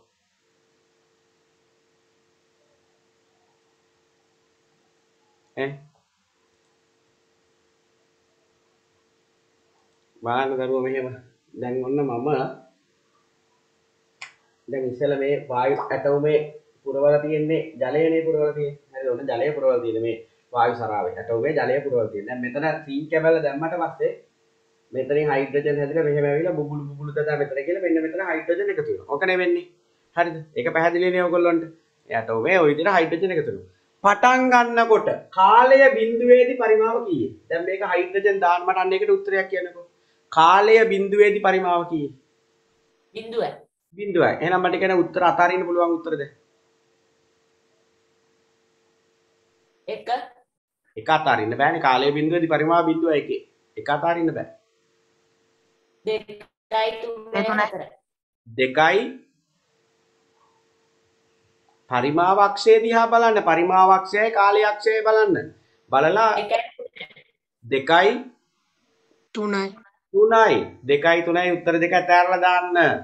ඒකේ බලන්නකෝ මේ මේ මේ සිංක් කෑල්ල දාන්නත් කලින් පරිමාවක් තියෙනෝනේ වායු හයිඩ්‍රජන්. මං කියන්නේ ඔයගොල්ලන්ට තේරෙනවද සිංක් කැබැල්ල දාන්නත් කලින් හයිඩ්‍රජන් පරිමාවක් තියෙනවා මේ දෙකේ. ඒ දෙක අතාරින්න ඒ දෙක එන්නේ නැහැ කවදාවත්. හරිද ඒකේ අමුතු වැඩක් නේ වෙලා තියෙන්නේ. පරිමාව එන්නේ නඩු වෙලා කාලයත් එක්ක. එකතු වෙනව නෙමෙයි පරිමාව හයිඩ්‍රජන් කොහෙන් හරි පිට වෙලා ගිහිල්ලා.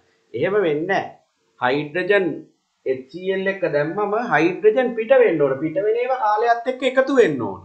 දැන් ඔන්න ඕගොල්ලන්ට ලේසි වුණා. 150ක් ආවා.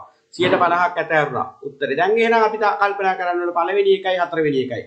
මොකද්ද උත්තරේ? පළවෙනි එකද හතරවෙනි එකද? දැන් මම මේ ප්‍රශ්නයක් තේරුම් ගන්න විදිය ඔයගොල්ලන්ට මේ කියලා දෙන්නේ. පළවෙනි එකද හතරවෙනි එකද? ඔව් දැන් ඔන්න උත්තර එනවා හතර කියලා. ඇයි පළවෙනි එක අපි අතාරින්නේ?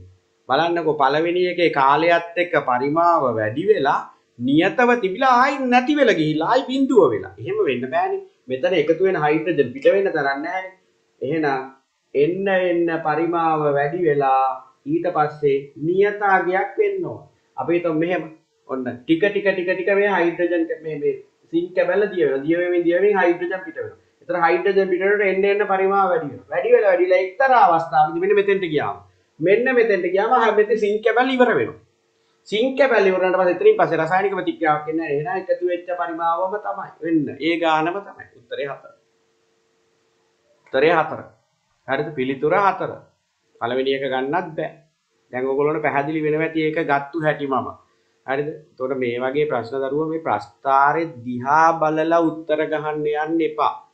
ඔය ප්‍රවේග කාල ප්‍රස්ථාර ඊට පස්සේ මේ වගේ මේ ශීඝ්‍රතා ප්‍රස්ථාර කාලයත් එක්ක යම් ද්‍රව්‍යයක් එක්රැස් වෙන ප්‍රස්ථාර ඒක ටිකක් කල්පනා කරන්න.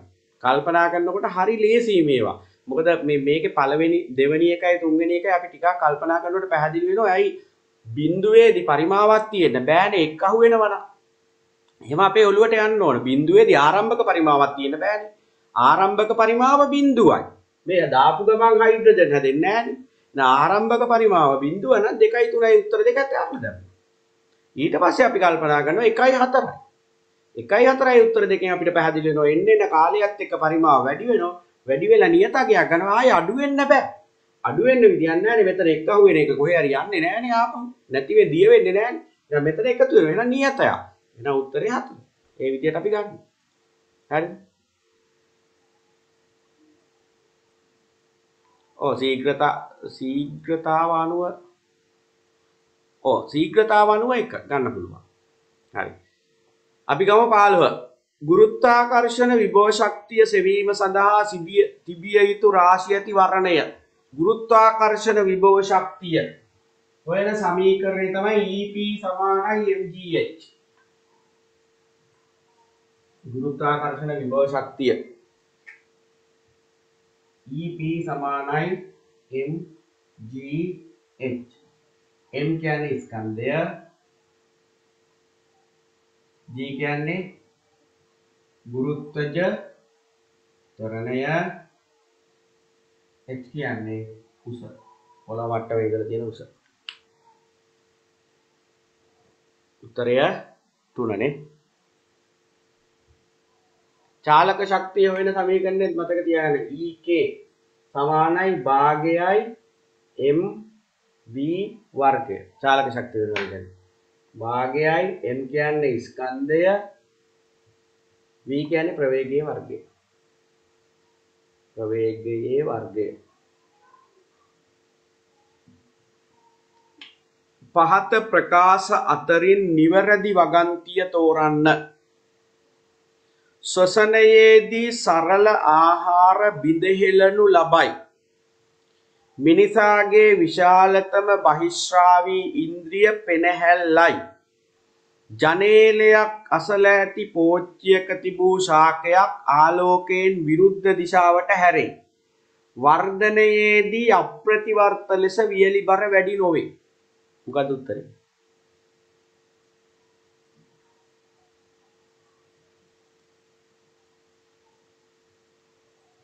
පිළිතුර දෙන්න බලන්න. ඒක ලේසියි නේ. අමාරු නෑ එච්චර. හරි මට දෙවෙනි එකට උත්තරේ කියන්නේ මිනිසාගේ විශාලතම බහිශ්‍රාවී ඉන්ද්‍රිය මොකක්ද?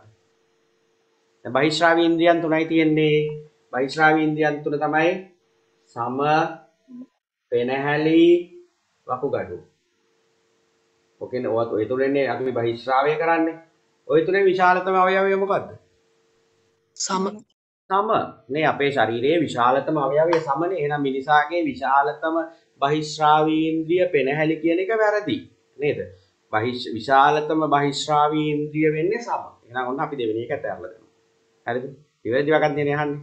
තුන්වෙනි එක කියන්නේ ජනේලයක් අසල ඇති පෝච්චයක තිබූ ශාකයක් අර හතවතට දිගෙන ගන්නේ ජනේලයක් අසල ඇති පෝච්චයක තිබූ ශාකයක් ආලෝකයේ විරුද්ධ දිශාවට දැරෙන්නේ ආලෝකයේ දෙසටද? ආලෝකය දෙසට. ආලෝකයේ දෙසට. එහෙනම් ඒකත් ඇතැරලා දාන්න. වර්ධනයේදී අප්‍රතිවර්ත ලෙස වියලි බර වැඩි වේද නොවේද? වැඩි වේ. වැඩි වේනේ වර්ධනය කියන්නේ අපි 8 වසර 10 10 වසර 8 වෙනි පාඩමේ ඉගෙන ගන්න වර්ධනය කියන්නේ මොකද්ද? සෛල ගණන වැඩිවීම හා සෛල වල වියලි බර මොකද්ද වෙන්නේ? අප්‍රතිවර්ත ලෙස වැඩිවීම. එහෙනම් ඒකත් වැරදි. එහෙනම් උත්තරේ ඒක. සරල ආහාර විදේලන සරහ සරල ආහාර ඔක්සිජන් සමග ක්‍රියා කර කාබන් ඩයොක්සයිඩ් ජලය හා ශක්තිය නිපදවීම ශ්වසනය කියන්නේ. එහෙනම් සරල ආහාර බිඳ හෙලනවා. එහෙනම් ඒක තමයි උත්තරේ. 17 ඝන ඝන සමජාතීය මිශ්‍රණයක් සහ ඝන ද්‍රව විෂම ජාතීය මිශ්‍රණයක්. සංඝටක එකක් හෝ වැඩි ගණනක් මිශ්‍ර වී පවතිනා වූද මම මේ මිශ්‍රණයක අර්ථ දක්වීම කියන්නේ සංඝටක වැඩි ගණනක් එකිනෙක මිශ්‍ර වී පවතිනා වූද හරිද එම සංඝටක අතර රසායනික ප්‍රතික්‍රියා නොමැති වූද නම් අපි ඒ වගේ සම්- දෙයක් කියන මිශ්‍රණයක් කිය. ඒතර මිශ්‍රණ අපි ආපහු වර්ග කරන සමජාතීය හා විෂම ජාතීය කියලා. සමජාතීය කියන්නේ මිශ්‍රණය පුරා ඒකාකාර සංයුතියක් පවතින හැම තැනම එක වගේ සංයුතිය සමානයි නම් අපි කියන සමජාතීය මිශ්‍රණයක්. මිශ්‍රණයේ තනින් තනට සංයුතිය වෙනස් වෙනවා නම් අපි කියනවා විෂම ජාතීය මිශ්‍රණයක්. එහෙනම් ආපහු අපි බෙදනවා ඝන ඝන සමජාතීය මිශ්‍රණ සමජාතීය මිශ්‍රණ ආපහු බෙදනවා. ඝන ඝන ඝන ද්‍රව ඊට පස්සේ ද්‍රව ද්‍රව ද්‍රව වායු වායු වායු ඊට පස්සේ ආයිත් විෂම ජාතීය මිශ්‍රණ ඝන ඝන ඝන ද්‍රව ඊට පස්සේ ද්‍රව ද්‍රව ද්‍රව වායු වායු වායු වගේ අපි බෙදනවා.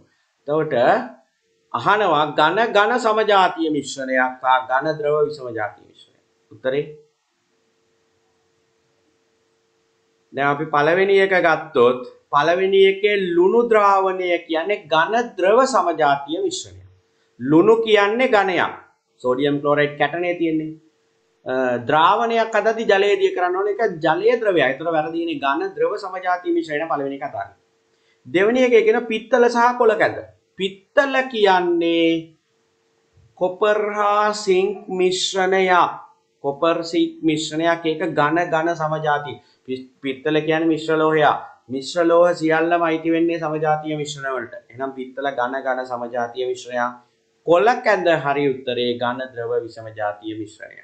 කොළ කැඳ හදද්දි කොළ දානවා, අපි හුණු සල් දානවා, තව මොනවා හරි ඔය හකුරු වගේ දේවල් තියෙනවා ඒවත් දානවා. එතකොට ඝන ද්‍රව්‍ය ද්‍රව මිශ්‍ර වෙලා ඒක හැමතැනම එක වගේ නෑ. ඒක නිසා තමයි කොළ කැඳ කෝපේ බොනකොට අන්තිමට අපි හොඳට හොලවලා කොළ කැඳ ඒක බොන්නේ. මොකද අන්තිම කොටසේ තමයි බරින් වැඩි ද්‍රව්‍ය තැන්පත් වෙලා තියෙන්නේ. ඒක මිශ්‍ර කරලා 16ට ගියේ 16 1 හරිද 17 2 හරි. ඔයගොල්ලන්ට මම පොඩි වෙලාවක් දෙන්නම්. ගහන්න බලන්න උත්තර ටික ඊළඟ එකේ. 18 වෙනි ප්‍රශ්නය. විද්‍යුත් චුම්බක තරංග වර්ගය හා ඒවාට අදාළ වන උදාහරණ දැක්වෙන ත- උදාහරණය දැක්වෙන්නේ. ආ, දැන් ඔතනින් අපිට උත්තර දෙකක් අතාරින්න පුළුවන්. කොහොමද අපි අතාරින්නේ උත්තර දෙක? කියන්න බලන්න. ප්‍රශ්නේ දැක්ක ගමම දැන් ප්‍රශ්නෙන් අහ- ඉස්සෙල්ලම ප්‍රශ්නේ කඳ තේරුම් ගන්න ඕන. හරිද? කඳේ කියලා තියෙන විද්‍යුත් චුම්බක තරංග ගැන. ඒ විද්‍යුත් චුම්බක තරංග වර්ගය හා ඒවාට අදාළ වන උදාහරණ. දැන් අපි කොහොමද මේකේ උත්තර දෙකක් අතාරින්නේ පිළිතුරු දෙකක් අතාරින්නේ කොහොමද? අපි ඉගෙනගෙන තියෙනවා විද්‍යුත් චුම්බක තරංග කියන්නේ තීරියක් තරංග විශේෂයක් කියලා. මම පොඩ්ඩක් මේ 10 වසරේ දරුවෝ ඉන්න නිසා තරංග වර්ගීකරණය ඇඳලා පෙන්නන්න. බලාගන්න ඉස්සෙල්ලා ඒක. අපි තරංග පාඩමේදී ඉගෙන ගන්නවා තරංග වර්ග එක. හරිද? එතකොට අපි මුලින්ම තරංග වර්ග කරනවා ප්‍රධාන ආකාර දෙකකට. තරංග අපිට බෙදන්න පුළුවන් ප්‍රධාන ආකාර දෙක තමයි යාන්ත්‍රික තරංග හා විද්‍යුත් චුම්බක තරංග. විද්‍යුත් චුම්බක තරංග. යාන්ත්‍රික තරංග අපි ආපහු කොටස් දෙකකට බෙදෙනවා. ඒ තමයි තීර්යක් තරංග හා අන්වායාම තරංග. අන්වායාම තරංග. ඊළඟට අපි ඉගෙනගෙන තියෙනවා විද්‍යුත් චුම්බක තරංග සියල්ල තීර්යක් කියලා. තීර්යක් තරංග බව. එහෙනම් මම ඒකයි කිව්වේ ඔයගොල්ලන්ට මේක ප්‍රශ්නේ දැක්ක ගමන් අපිට අතාරින්න පුළුවන් දෙවෙනි උත්තරය හා හතරවෙනි උත්තරය. මොකද හේතුව දෙවෙනි උත්තරය හා හතරවෙනි උත්තරේ තියෙන අන්වායාම කියලා. යාන්ත්‍රික තරංග අපි තීර්යක් හා අන්වායාම කියලා කොටස් දෙකකට බෙදනවා. විද්‍යුත් චුම්බක තරංග සියල්ල තීර්යක්. එහෙනම් 2යි 4යි උත්තර අතාරින්න. ඊට පස්සේ මේ මම පොඩ්ඩ මේක පැහැදිලි කරන්න තීර්යක් තරංගය කියන්නේ තරංගය ගමන් කරනකොට ඉතින් මේ යාන්ත්‍රික තරංග කියන්නේ අංශු අවශ්‍යයි. තරංගය ගමන් කරන්න මාධ්‍යයේ අංශු අවශ්‍යයි. මාධ්‍යයක් තියෙන්න ඕන. මාධ්‍යයේ ඇති අංශු සහභාගීත්වයේ අංශු සහභාගීත්වයේ තරංගය ගමන් ගන්නවා නම් අපි කියනවා යාන්ත්‍රික තරංගය. එහෙම අංශු වල සහභාගීත්වයක් තිබුණත් එකයි නැතත් එකයි නම් අපි කියන එකට විද්‍යුත් චුම්බක තරංගය. හරිද? මේකට අංශු අවශ්‍ය වෙන්නේ නැහැ.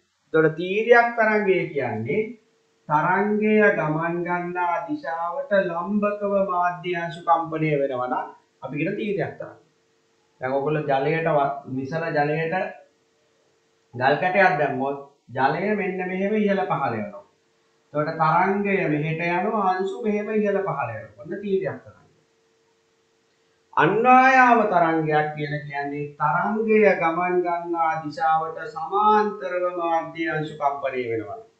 තරංගය මෙහෙට යනවා මාධ්‍ය අංශු මෙහෙම දෙපැත්තට යනවා. අන්න ඒතර අපි කියනකට අන්වායාම තරංගයක්. ඒතර අන්වායාම තරංගයක් ගත්තොත් අපිට උදාහරණ කතා කරන්න වෙන්නේ ධ්වනි තරංග. ධ්වනි තරංග. ධ්වනි. මේකට අපිට ගන්න පුළුවන් ජල තරංග. ධ්වනි තරංගයකදී අපි කතා කරනකොට මේ අපි අවට තියෙන වාතය එක තැනකදී අංශු ලං වෙනවා තව තැනකදී අංශු ඈත් වෙනවා ආයිත් අංශු ලං වෙනවා ආයිත් ඈත් වෙනවා ඒ කියන්නේ අංශු දෙපැත්තට මෙහෙට මෙහෙට හරිද ආයිත් මෙහෙට මෙහෙට. ඔන්න ඔය විදිහට අංශු ලං වෙනවා ඈත් වෙනවා ලං වෙනවා ඈත් වෙනවා. එතකොට මේ අන්නවා යනවා ඊළඟට විද්‍යුත් චුම්බක තරංග ගත්තොත් අපි විද්‍යුත් චුම්බක තරංග ලියනවා. සංඛ්‍යාතයේ අඩුම එකේ ඉඳලා වැඩිම එකට. ගුවන් විදුලි තරංග, රූපවාහිනී තරංග, සූක්ෂම තරංග නැත්නම් අපි කියනවාට සුද්ධ තරංග, අදෝරක්ත කිරණ, ඊළඟ ආලෝක තරංග, පාරජම්බුල කිරණ, එක්ස් කිරණ, අ, ගැමා කිරණ. ඔය විදිහට අපි ලියනවා. මේ ඔක්කොම තීරයක් තරංග. දැන් මම මේ ඔයගොල්ලන්ට කියලා දුන්නේ තරංග වර්ගීකරණය. තරංග අපි කොටස් දෙකකට බෙදෙනවා යාන්ත්‍රික තරංග හා විද්‍යුත් චුම්බක තරංග. තරංගය සම්ප්‍රේෂණය වෙන්න මාධ්‍ය අංශු අවශ්‍ය නම් නැත්නම් සම්ප්‍රේෂණයට මාධ්‍යයක් අවශ්‍ය නම් අපි කියන යාන්ත්‍රික තරංග සම්ප්‍රේෂණයට මාධ්‍යයක් අවශ්‍ය නැත්නම් අපි ඒවට කියන විද්‍යුත් චුම්බක තරංග විද්‍යුත් චුම්බක තරංග සියල්ල සී තීර්යක් තරංග ඒවට උදාහරණ විදිහට ගන්න පුළුවන්. ගුවන් විදුලි තරංග රූපවාහිනී තරංග ශුද්ධ තරංග අදෝරක්ත කිරණ ආලෝකය පාරජම්බුල කිරණ එක්ස් කිරණ ගැමා කිරණ. ඔය ටික තමයි විද්‍යුත් චුම්බක තරංග. ඊට පස්සේ යාන්ත්‍රික තරංග අපි ආපහු කොටස් දෙකකට බෙදුවා. තීරයක් හා අන්වායාම. තරංගය ගමන් ගන්නා දිශාවට ලම්බකව මාධ්‍ය අංශු කම්පණය වෙනවා නම් තීරයක් තරංග. උදාහරණයකට ගන්නවා ජල තරංග. එහෙම නැත්නම් ලණුවක්. නැත්නම් තතක්. ගිටාර එකක තතක් ඉහළ පහළ යන්නේ එතකොට ඇති වෙන්නේ තීරයක් තරංග ඊට පස්සේ අන්වායාම තරංග කියලා කියන්නේ තරංගය ගමන් ගන්නා දිශාවට සමාන්තරව මාධ්‍ය අංශු කම්පණය වෙනවා නම් අන්වායාම තරංග එහෙම එකට උදාහරණ විදිහට ගන්න පුළුවන් ධ්වනි තරංග එවන අපිට මේකේ පිළිතුර වෙන්නේ විද්‍යුත් චුම්බක තරංග වර්ගය හා ඒවා අදාළ වන උදාහරණය පිළිතුර එක. මොකද තුන්වෙනි එක අතාරින්නේ තුන්වෙනි එකේ තියෙන ධ්වනි තරංග ශබ්ද. ශබ්ද ධ්වනි තරංග කියන්නේ ශබ්ද තරංගනේ. ශබ්ද තරංග කියන්නේ තීරයක් තරංග වර්ගයක් නෙවෙයි. ඒක විද්‍යුත් චුම්බක තරංග වර්ගයක්ුත් නොවේ. හරිද? ඒක නිසා උත්තරය එන්නේ පිළිතුර එන්නේ ඒක. 19 ප්‍රභා සංශ්ලේෂණ ක්‍රියාවලියේදී සූර්ය ශක්තිය අවශෝෂණය කාර්යක්ෂම කිරීම සඳහා දක්වන අනුවර්තනයන් වන්නේ. ප්‍රභා සංශ්ලේෂණයට අවශ්‍යයි ජලය කාබන් ඩයොක්සයිඩ් ආලෝකය. ප්‍රභා සංශ්ලේෂණයට ජලයයි කාබන් ඩයොක්සයිඩුයි ආලෝකය අවශ්‍යයි. හරිද? දැන් ශාකයක් ප්‍රභා සංශ්ලේෂණය හරියට කරන්න නම් ජලය උරා ගන්න ඕනේ. දැන් ඔයගොල්ලෝ මම මේ ඔක්කොම ටික කියලා දෙන්නේ. ජලය අවශෝෂණය කරන්නේ මුල් මගේ. එතකොට ඒකට තියෙන අනුවර්තන තමයි මුල්වල මූලකේශ පිහිටා තිබීම. ඔන්න ජලය උරා ගන්න තියෙනවා මුල්වල මූලකේශ. ඊළඟට ඒක කඳ දිගේ ඉහළට ගෙනියන්න සෛලම පටකය තියෙනවා. ඊට පස්සේ නාරටි පුරා මේ නාරටි හරහා මුළු පත්‍රය පුරා ගෙනියන්න දැලක් විදියට නාරටි වින්‍යාසයක් තියෙනවා. ඔන්න ඔය තමයි අනුවර්තන. ජලය. ඊට පස්සේ වැඩිපුර ජලය ටික සිදුරු හරහා වාෂ්ප වෙනවා. ඒකෙන් බලයක් ලැබෙනවා මුල් වලින් ජලය උරා ගන්න. අපි ඒකට වෙන උත්සේදන චූෂණ බලය. ඔන්න ඔය ටික තමයි මේ ජලය අවශෝෂණයට තියෙන අනුවර්තන ටික. ඊට පස්සේ අ, අපි ගත්තොත් කාබන් ඩයොක්සයිඩ් අණු උරා ගැනීමට තියෙන ප්‍රභාසංශයට අවශ්‍ය කාබන් ඩයොක්සයිඩ් ගන්න තියෙන අනුවර්තන තමයි පූටිකා සිදුරු විශාල ප්‍රමාණයක් තිබීම. හරිද? පූටිකා සිදුරු විශාල ප්‍රමාණයක් තිබීම. ඊට පස්සේ ආලෝකය ගන්න තියෙන නැත්නම් සූර්ය ශක්තිය ගන්න තියෙන අවසෝ මේ අනුවර්තන තමයි පත්‍ර පළල් වීම, පත්‍ර තුනී වීම, පත්‍ර වින්‍යාසය ආලෝකය වැටෙන ලෙස සවිවීම. කියන්නේ පුළුවන් තරම් ගහේ කොළ විශාල වෙන්න ඕන. හරිද? පළල් වෙන්න ඕන. එතකොට වැඩි ආලෝක ප්‍රමාණයක් පත්‍ර වලට වැටෙනවා. ඊට හැම පත්‍රයකටම ආලෝකය වැටෙන විදිහට පත්‍ර කඳට සවි වෙන්න ඕන. අපි ඒකට කියන්නේ පත්‍ර වින්‍යාසය කියලා. පත්‍ර වින්‍යාසය ආලෝකය වැටෙන ලෙස සකස් වී තිබීම. අනිත් එක තමයි පත්‍ර තුනී වෙන්න ඕන. එතකොට තමයි පත්‍ර හරහා ආලෝකය ගමන් කරන්නේ. එහෙනම් ආලෝකය අවශෝෂණය කරන්න දක්වන අනුවර්තනය උතනින් දෙකනේ. ආ නොවන්නේ සෝරි නොවන්නේ නොවන්නේ එක මේ තුන අනිත් තුනම හරි ශාකනාද කොළපාට ආ කොළපාට අන්න එකක් මතක තියන්න හරිතප්‍රද හරිතප්‍රද වලට පුළුවන් ආලෝකය උරා ගන්න. ඒ හරිතප්‍රද තිබීමත් අනුවර්තනයක්. එහෙනම් දීකාන්තරිකයි කියන්නේ අර පත්‍ර වින්‍යාසය. දීකාන්තරික මෙහෙම. මෙහෙම තියෙන්නේ. ආයිත් මෙහෙම. ඒ කියන්නේ දෙකක් මේ පැත්තට තියෙනවා අනිත් දෙක මේ පැත්තට. ආයිත් එකක් මෙහෙම. මාරුවේ මාරුවට. හරිද? දීකාන්තරික. එතකොට උත්තරේ එන්නේ ඔතන තුන. බූව තියෙනකොට බූව තියෙන උච්ඡේදනය අවම කරගන්න. උච්ඡේදනය ජලය වාෂ්ප වෙන එක අවම කරන්න තමයි ශාක පත්‍රවල බූව පිටලා තියෙන්නේ. ඊළඟට 20 වෙනි ප්‍රශ්නය. ජලය ග්‍රෑම් 360ක් ග්ලූකෝස් ග්‍රෑම් 180ක් දිය කර සාධන ග්ලූකෝස් ද්‍රාවණයක ග්ලූකෝස් වල මවුල භාගය. මවුල භාගය මේ වගේම ප්‍රශ්නයක් අපි මේක කලින් පේපර් එකේ ගන්නවා මේකමද මන්දා.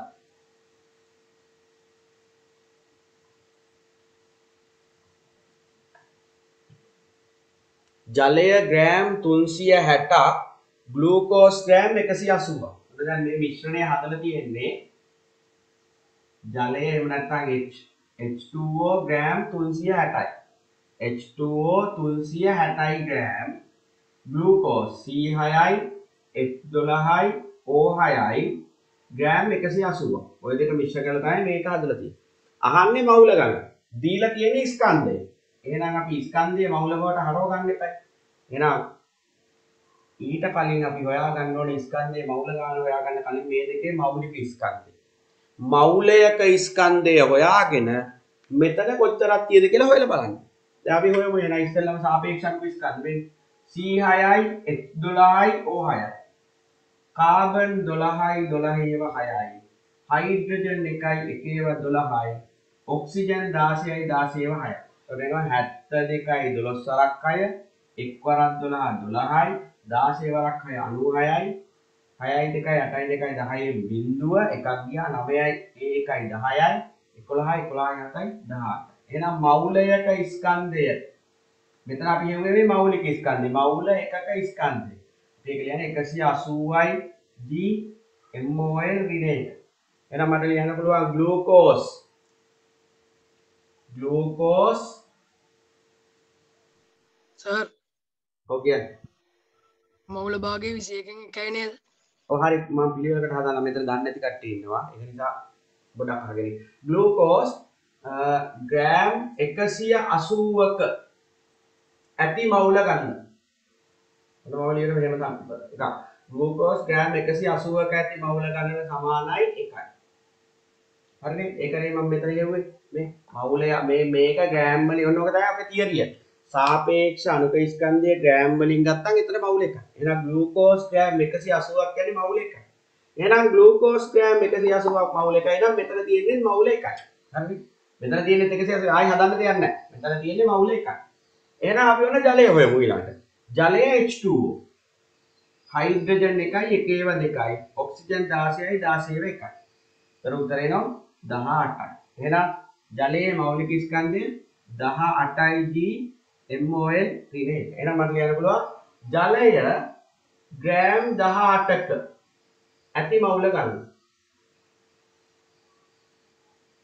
ජලය ග්‍රෑම් 18ක ඇති මවුල ගන්න එකයි. එහෙනම් මෙතන කීයක් තියෙද 360ක්. එහෙනම් මම ලියනවා ජලය ග්‍රෑම් 360ක ඇති මවුල ගන්න. එහෙනම් එක බෙදීම 18 18 එකක් එකක තියෙන 18ක් නම් 18ක එකයි නම් එක බෙදීම 18 වැඩි කිරීම 360. එතකොට අපිට එනවා උත්තරේ 18 ඒව 1යි 18 ඒව 2යි බිංදුව 20යි. එහෙනම් මවුල 20යි. ඔන්න එහෙනම් ඔන්න මම හොයාගත්තා. මෙතන මවුල වලින් ගත්තොත් ග්ලූකෝස් නම් මවුල 1යි, ජලය නම් මවුල 20යි. අහන්නේ මොකද්ද ග්ලූකෝස් වල මවුල භාගය. එහෙනම් මම ලියන මෙන්න මම වෙන පෑනකින් ලියන්නම් ඒක. ග්ලූකෝස් වල මවුල භාගය ග්ලූකෝස් වල මවුල භාගය සමානයි ග්ලූකෝස් මවුල ගණන ග්ලූකෝස් වල මවුල භා- භාගයනේ අහලා තියෙන්නේ. ඔව් ග්ලූකෝස් වල මවුල භාගය සමානයි ග්ලූකෝස් මවුල ගණන බෙදනවා මුළු මවුල ගණනේ. දැන් ඕගොල්ලෝ ග්ලූකෝස් මවුල ගණන හොයාගත්ත එකයි. MOL බෙදනවා මුළු මවුල ගණන ජලය 20යි ග්ලූකෝස් 1යි 21යි MOL. MOL ට MOL කැපිලා යන උත්තරේ එනවා 21න් 1යි. ඔන්න මේක. 21න් 1යි. හරි ඉතින් උත්තරේ හරි. හරිද? 21න් 1යි. මම මේ සරලවම හදන විදිය අර සරලම අවස්ථාව ඉඳලා කියලා දුන්නා නැත්තම් මෙච්චර අපිට මහන්සි වෙන්න ඕනේ නැහැ මේකට උත්තරේ ටක් කරලා දාන්න පුළුවන් ඒ වුණාට අර මම බලාපොරොත්තු වෙන දේ මේකනේ. දැන් මෙතන අපි මවුල ගාන හොයන හැටි දැන් ඔයගොල්ලන්ට පැහැදිලි වෙන්න ඕනේ. ස්කන්ධය දීලා තියෙනවා නම් ඉස්සෙල්ලා හොයන්න ඕනේ සාපේක්ෂ අනුක ස්කන්ධය ඊට පස්සේ මේ ස්කන්ධය සාපේක්ෂ අනුක ස්කන්ධයෙන් බෙදන්න ඕනේ දීලා තියෙන ස්කන්ධය සාපේක්ෂ අනුක ස්කන්ධයෙන් බෙදන්න ඕනේ එතකොට අපිට ලැබෙන මවුල ගාන හරි. එතකොට අපි ගත්තා ග්ලූකෝස් ග්‍රෑම් 180ක් කියන්නේ මවුල එකයි. එහෙනම් මෙතන 180යි නේ තියෙන එක බෙදන්න බෙදුවේ නැහැ මම කියන්නේ මේකයි. 180ක් කියන්නේ මවුල එක නම් මෙතන 180 නෑ එතන තියෙන මවුල එකයි. හරිද? ජලය ග්‍රෑම් 18ක් කියන්නේ මවුල එකයි. එහෙනම් 360ක තියෙනවා. 360 18න් බෙද. හරිද? එතකොට අපිට එනවා මවුල 20ක්. එතකොට අපිට උත්තරයක් එනවා මුළු මවුල ගාන 21යි. ග්ලූකෝස් මවුල ගාන 1යි. එහෙනම් ග්ලූකෝස් වල මවුල භා- මවුල භාගය කියන්නේ 21න් 1යි. දැන් මම ඔයගොල්ලෝගෙන් ප්‍රශ්නයක් අහුවොත් මෙතන ජලය මවුල භාගය කීයද කියලා. මේකේ. දැන් ග්ලූකෝස් මවුල මේ ද්‍රාවණයේ ජලය මවුල භාගය. ග්ලූකෝස් 21න් ජලය මවුල භාගය. දැන් ග්ලූකෝස් මවුල භාගය 21න් 1යි. ජලය මවුල භාගය විසි එකෙන් විස්ස 21න් 20යි. එතකොට මවුල භාගවල එකතුව 21න් එක එකතු කිරීම 21න් 20 උත්තරේ එන්නේ 21න් 21 සමානයි 1යි. මවුල භාගවල එකතුව 1යි. ඒකත් මතක තියාගන්න පේපර් වල අහන ඒවා මවුල භාගවල එකතුව 1යි. ද්‍රාවණයක තියෙන මවුල භාග සියල්ල මවුල භාග ස්කන්ධ භාග හරිද? ඔය එකතුව 1යි. මවුල භාගයේ ස්කන්ධ භාගය අපි ඒවා ඉගෙන ගන්නවානේ. ඒවයි එකතුව 1යි. පරිමා භාග ඒවා එකතුව 1යි. හරි 21 ප්‍රශ්නයට යන්න. අවදි කෝණය දැක්වෙන නිවැරදි පිළිතුරු. එක ලේසි. ගහනතර මාධ්‍යයක ඉඳලා විරලතර මාධ්‍යයකට ආලෝකය ගමන් කරද්දී ගහනතර මාධ්‍යයක ඉඳලා විරලතර මාධ්‍යයකට ආලෝකය ගමන් කරද්දී වර්තන කෝණය අංශක 90ක් වෙන අවස්ථාව තමයි පතන කෝණය අවදි කෝණය කියලා කියන්නේ. වර්තන කෝණය අංශක 90ක් වන අවස්ථාවේදී පතන කෝණය. පිළිතුර දෙක. අවදි කෝණය කියලා කියන්නේ මෙන්න මෙතන. මේ බලන්න වර්තන කෝණය අංශක 90යි. මේ දෙවැනි එකේ වර්තන කෝණය. මේ මේ බලන්න. මෙන්න මෙතන මේ වර්තන කෝණය අංශක 90යි නේ? මෙන්න මේ කෝණය අංශක 90යි මේ කෝණය අංශක 90 නම් මෙන්න මේ වෙලාවේ පතන කෝණය අපි හඳුන්වනවා අවදි කෝණය කියලා. මෙන්න මේ කෝණය අපි හඳුන්වන්නේ එතකොට අවදි කෝණය අවදි කෝණයට අපි භාවිතා කරන්නේ 100 කොට වර්තන කෝණය අංශක 90ක් වෙන වෙලාවේ පතන කෝණය අපි හඳුන්වනවා අවදි කෝණය. මේ මෙතන. ඒක නෑ උත්තරේ. හරි. ප්‍රකාශයක් හේතුවක් තියෙන්නේ. 22. ප්‍රකාශය තමයි පිත සමග ආහාර මිශ්‍ර වීමෙන් ආහාරයේ ඇති ලිපිඩ බිඳිති බවට පත්වීම තෛලෝදකරණය වේක හරියටම හරි. පිත්ත එහෙම නැත්නම් පිත්තුෂයෙන් කරන්නේ ලිපිඩ කුඩා කොටස් වලට කැඩීම අපි ඒකට කියන නම තමයි තෛලෝදකරණය. හේතුව ලිපිඩ මත ක්‍රියා කිරීමට එන්සයිම වර්ගයක් නොමැති නිසාය වැරදි. ඒ කෑලි වලට කැඩුනට පස්සේ අර ග- අග්න්‍යාසීක යුෂයේ තියෙන ලයිපේස් වලින් ලිපිඩ මේදම්ලා ග්ලිසරෝල් බවට පත් කරන එන හේතුව වැරදි ප්‍රකාශය හරි. පිළිතුර හතර. ප්‍රකාශය සත්‍යයි හේතුව අසත්‍යයි. 23 වෙනි ප්‍රශ්නය. 23 වෙනි ප්‍රශ්නය ABC රසායන ද්‍රව්‍ය තුන පිළිබඳව තොරතුරු පහත දැක්වේ. ABC කියලා රසායනික ද්‍රව්‍ය තුනක් තියෙනවා. පිනොප්තලීන් දර්ශකය හමුවේ රෝස පාට වේ. එහෙනම් මේකේ OH රිනායන තියෙන්න ඕන, භස්මයක් වෙන්න ඕන. නේ? මේ ඔය මතක තියාගන්න පිනොප්තලීන් රෝස පාට වෙනවා නම් අනිවාර්යෙන් එතන භස්මයක්. හරිද? pH එකේ 7ට වඩා වැඩි වෙන්න ඕන භස්මයක්. ඒ වගේම OH රිනායන තියෙන්න ඕන. pH එකේට 7ට අදාළ වර්ණ ඇති වේ. එහෙනම් උදාසීන වෙන්න ඕන. pH එකේ 7 නම් උදාසීනයි. අපි ඉගෙනගෙන තියෙනවානේ pH එකේ බිඳුවේ ඉඳලා 6 දක්වා අම්ල. 7 උදාසීන. 8 ඉඳලා 14 දක්වා බස්ම. නිල් ලිට්මස් රතු පාට කරයි එහෙනම් ඒක අම්ලයක්. එහෙනම් A බස්මයක් වෙන්න ඕන. B උදාසීන වෙන්න ඕන. C අම්ලයක් වෙන්න ඕන. පිළිතුර 3. ABC තුන උත්තරේ වශ්ම උදාසීන අම්ල. 24 තත්භාණ්ඩයක සංඛ්‍යාතය ඉහළ නැංවිය හැක්කේ.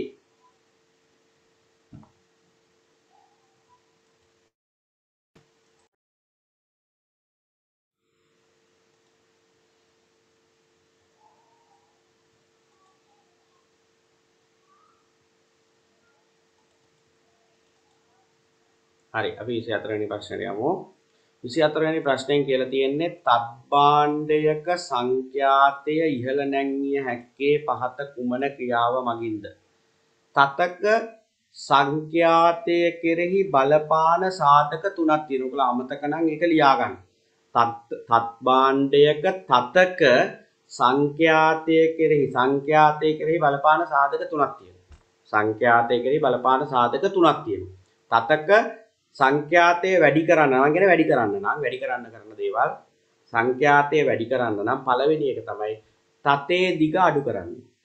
කම්පණය වන තතේ දිග අඩු කරන්න. පළවෙනි එක. ඒක ලියා ගන්න ලියා ගන්න අය තතේ දිග අඩු කළ යුතුය.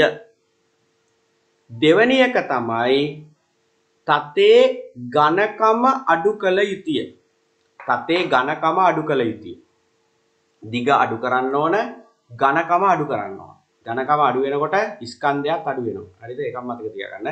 ඝනකම අඩු කරන්න ඕන. ඊළඟ එක තමයි තතේ ආතතිය වැඩි කරන්න ඕන. තතේ ආතතිය වැඩි කරන්න ඕන.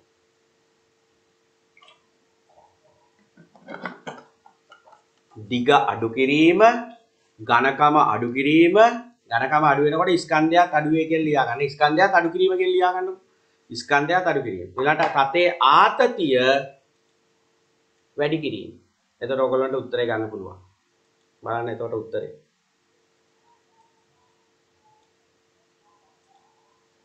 විසි තුන්වෙනි එකට උත්තරේ තුන විසි තුනට උත්තරේ තුන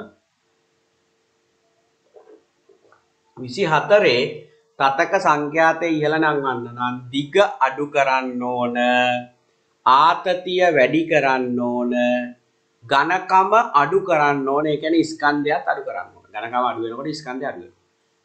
උත්තරය එතකොට කීය දෙන්නේ? 24ට එක. එකනේ. තතේ කම්පනය වන තතේ දිග අඩු කිරීම. ආතතිය වැඩි වෙන්න ඕනනේ. ඝනකමත් අඩු වෙන්න ඕන. හරි. හරස් කඩ වර්ගඵලය අඩු වෙන්න ඕන. ඒ කියන්නේ ස්කම්භය අඩු වෙන්න ඕන තතේ. එහෙනම් උත්තරේ එක. සුසුම්නා ශීර්ෂකයෙන් පාලනය වන ක්‍රියාව. අපි දන්නවා අපේ මොළය කොටස් තුනකට බෙදනවා මොළය කොටස් තුනයි. මස්තිෂ්කය අනුමස්තිෂ්කය සුසුම්නා ශීර්ෂකය. මස්තිෂ්කයෙන් කරන්නේ මතකය බුද්ධිය වගේ උසස් මානසික ක්‍රියා සිදු කිරීම.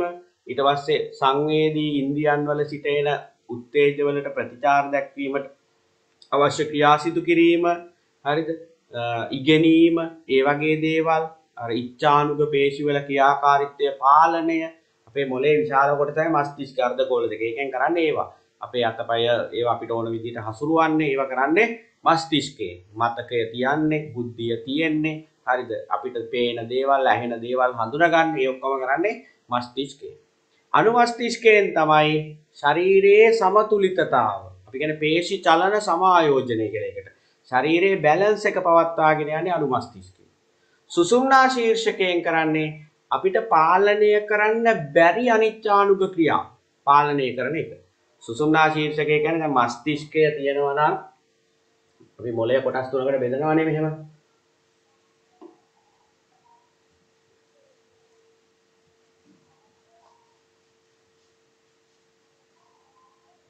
මෙහෙම මොළය කොටස් තුනකට බෙදුවා මස්තිෂ්කය අනුමස්තිෂ්කය මෙන්න මෙතන තමයි සුසුම්නා ශීර්ෂකය තියෙන්නේ. මේ තියෙන සුසුම්නා ශීර්ෂකය මෙතනින් පල්ලෙහාට තියෙන්නේ සුසුම්නාව.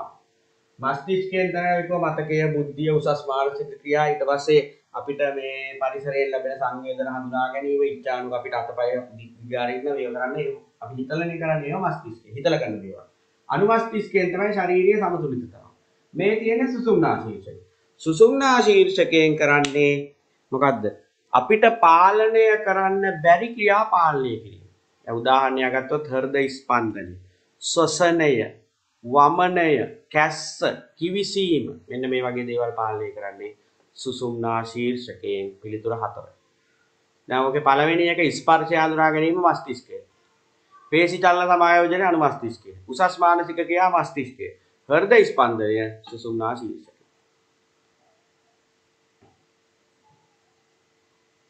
විසිහය පහත රසායනික ප්‍රතික්‍රියා අතරින් තාප අවශෝෂක ප්‍රතික්‍රියාව. තාප අවශෝෂක ප්‍රතික්‍රියාව කියන්නේ තාපය උරා ගන්නවා. ඒ රසායනික ප්‍රතික්‍රියාව සිද්ධ වෙනකොට තාපය උරා ගන්නවා පිළිතුර තුන. ඔක මේ මෙහෙම මතක තියා ඔක මතක තියාගන්න කියන්නේ පොතේ තියෙනවා තාප දැන් මේ 11 වසරේ 8 වෙනි පාඩම. රසායනික ප්‍රතික්‍රියා ආශ්‍රිත තාප විපර්යාස 8 වෙනි පාඩම. ඒකේ තියෙනවා තාපදායක ප්‍රතික්‍රියා තාප අවශෝෂක ප්‍රතික්‍රියාවට උදාහරණ. එතකොට ගොඩක් වෙලාට අම්ලයක් සමග ලෝහ අම්ලයක් සමග වෙනත් භස්ම වගේ දේවල් ප්‍රතික්‍රියා කිරීම ඇවිල්ලා තනි කරම තාපදායකයි. පරිසරයට තාපය පිට වෙනවා බඳුන රත් වෙනවා. ඊළඟට පිලිස්සු උණු වලට ජලය දැමීම. ඔය පළවෙනි එකේ තියෙන කැල්සියම් ඔක්සයිඩ් දර ජලය. ඒක අනිවාර්යෙන් තාපදායකයි. පරිසරයට තාපය පිට වෙනවා. සෝඩියම් ධන ක්ලෝරීන් සෝඩියම් ක්ලෝරයිඩ්. එතකොට ඒකත් තාපදායකයි. ඔතන කැල්සියම් කාබනේට් හුණුගල් රත් කිරීම තාප අවශෝෂකයි හරිද තාප අවශෝෂකයි හුණුගල් රත් කිරීම. 27 ඒකට උත්තරයක් ඕගොල්ලෝ දෙන්න ඕන මට. හුණු ජලයෙන් පිලිස්සීමට වඩා හුමාලයෙන් පිලිස්සීමේදී වැඩි හානියක් හේතු සිදුවීමට හේතුව. හුණු ජලයෙන් පිලිස්සෙනවට වඩා හුමාලයෙන් පිච්චුනාම හානි වැඩි. හේතුව කියන්න බලන්න.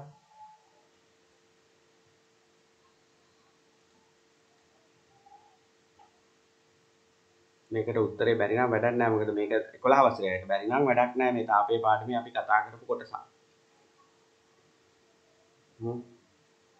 දැන් මම කියලා දුන්නා ඔයගොල්ලන්ට ප්‍රස්තාර ඇඳලා. අර ප්‍රස්තාරවල එහෙම ප්‍රස්තාරයක් ඇඳ කාලයත් එක්ක අයිස් කුට්ටියක්. නේ? මෙහෙම එකක් ඇඳලානේ මෙහෙම පටන් අරන් මෙහෙම ගිහිල්ලා මෙහෙම ගිහිල්ලා. ආයිත් මෙහෙම ගිහිල්ලා මෙහෙම යන ප්‍රස්තාරයක් ඇඳ ඔන්න වගේ එකක්. මෙන්න මෙතෙන්ට අපි කිව්වා තාපාංකය මෙතෙන්ට කිව්වා ද්‍රවාංකය මෙන්න මෙතන ඉඳලා මෙතන මෙතන තියෙන්නේ ද්‍රව අවස්ථාව මෙතන තියෙන වායු අවස්ථාව මෙතන තියෙන්නේ එතකොට මේ නටන ජලය මෙතන තියෙන්නේ හුමාහි.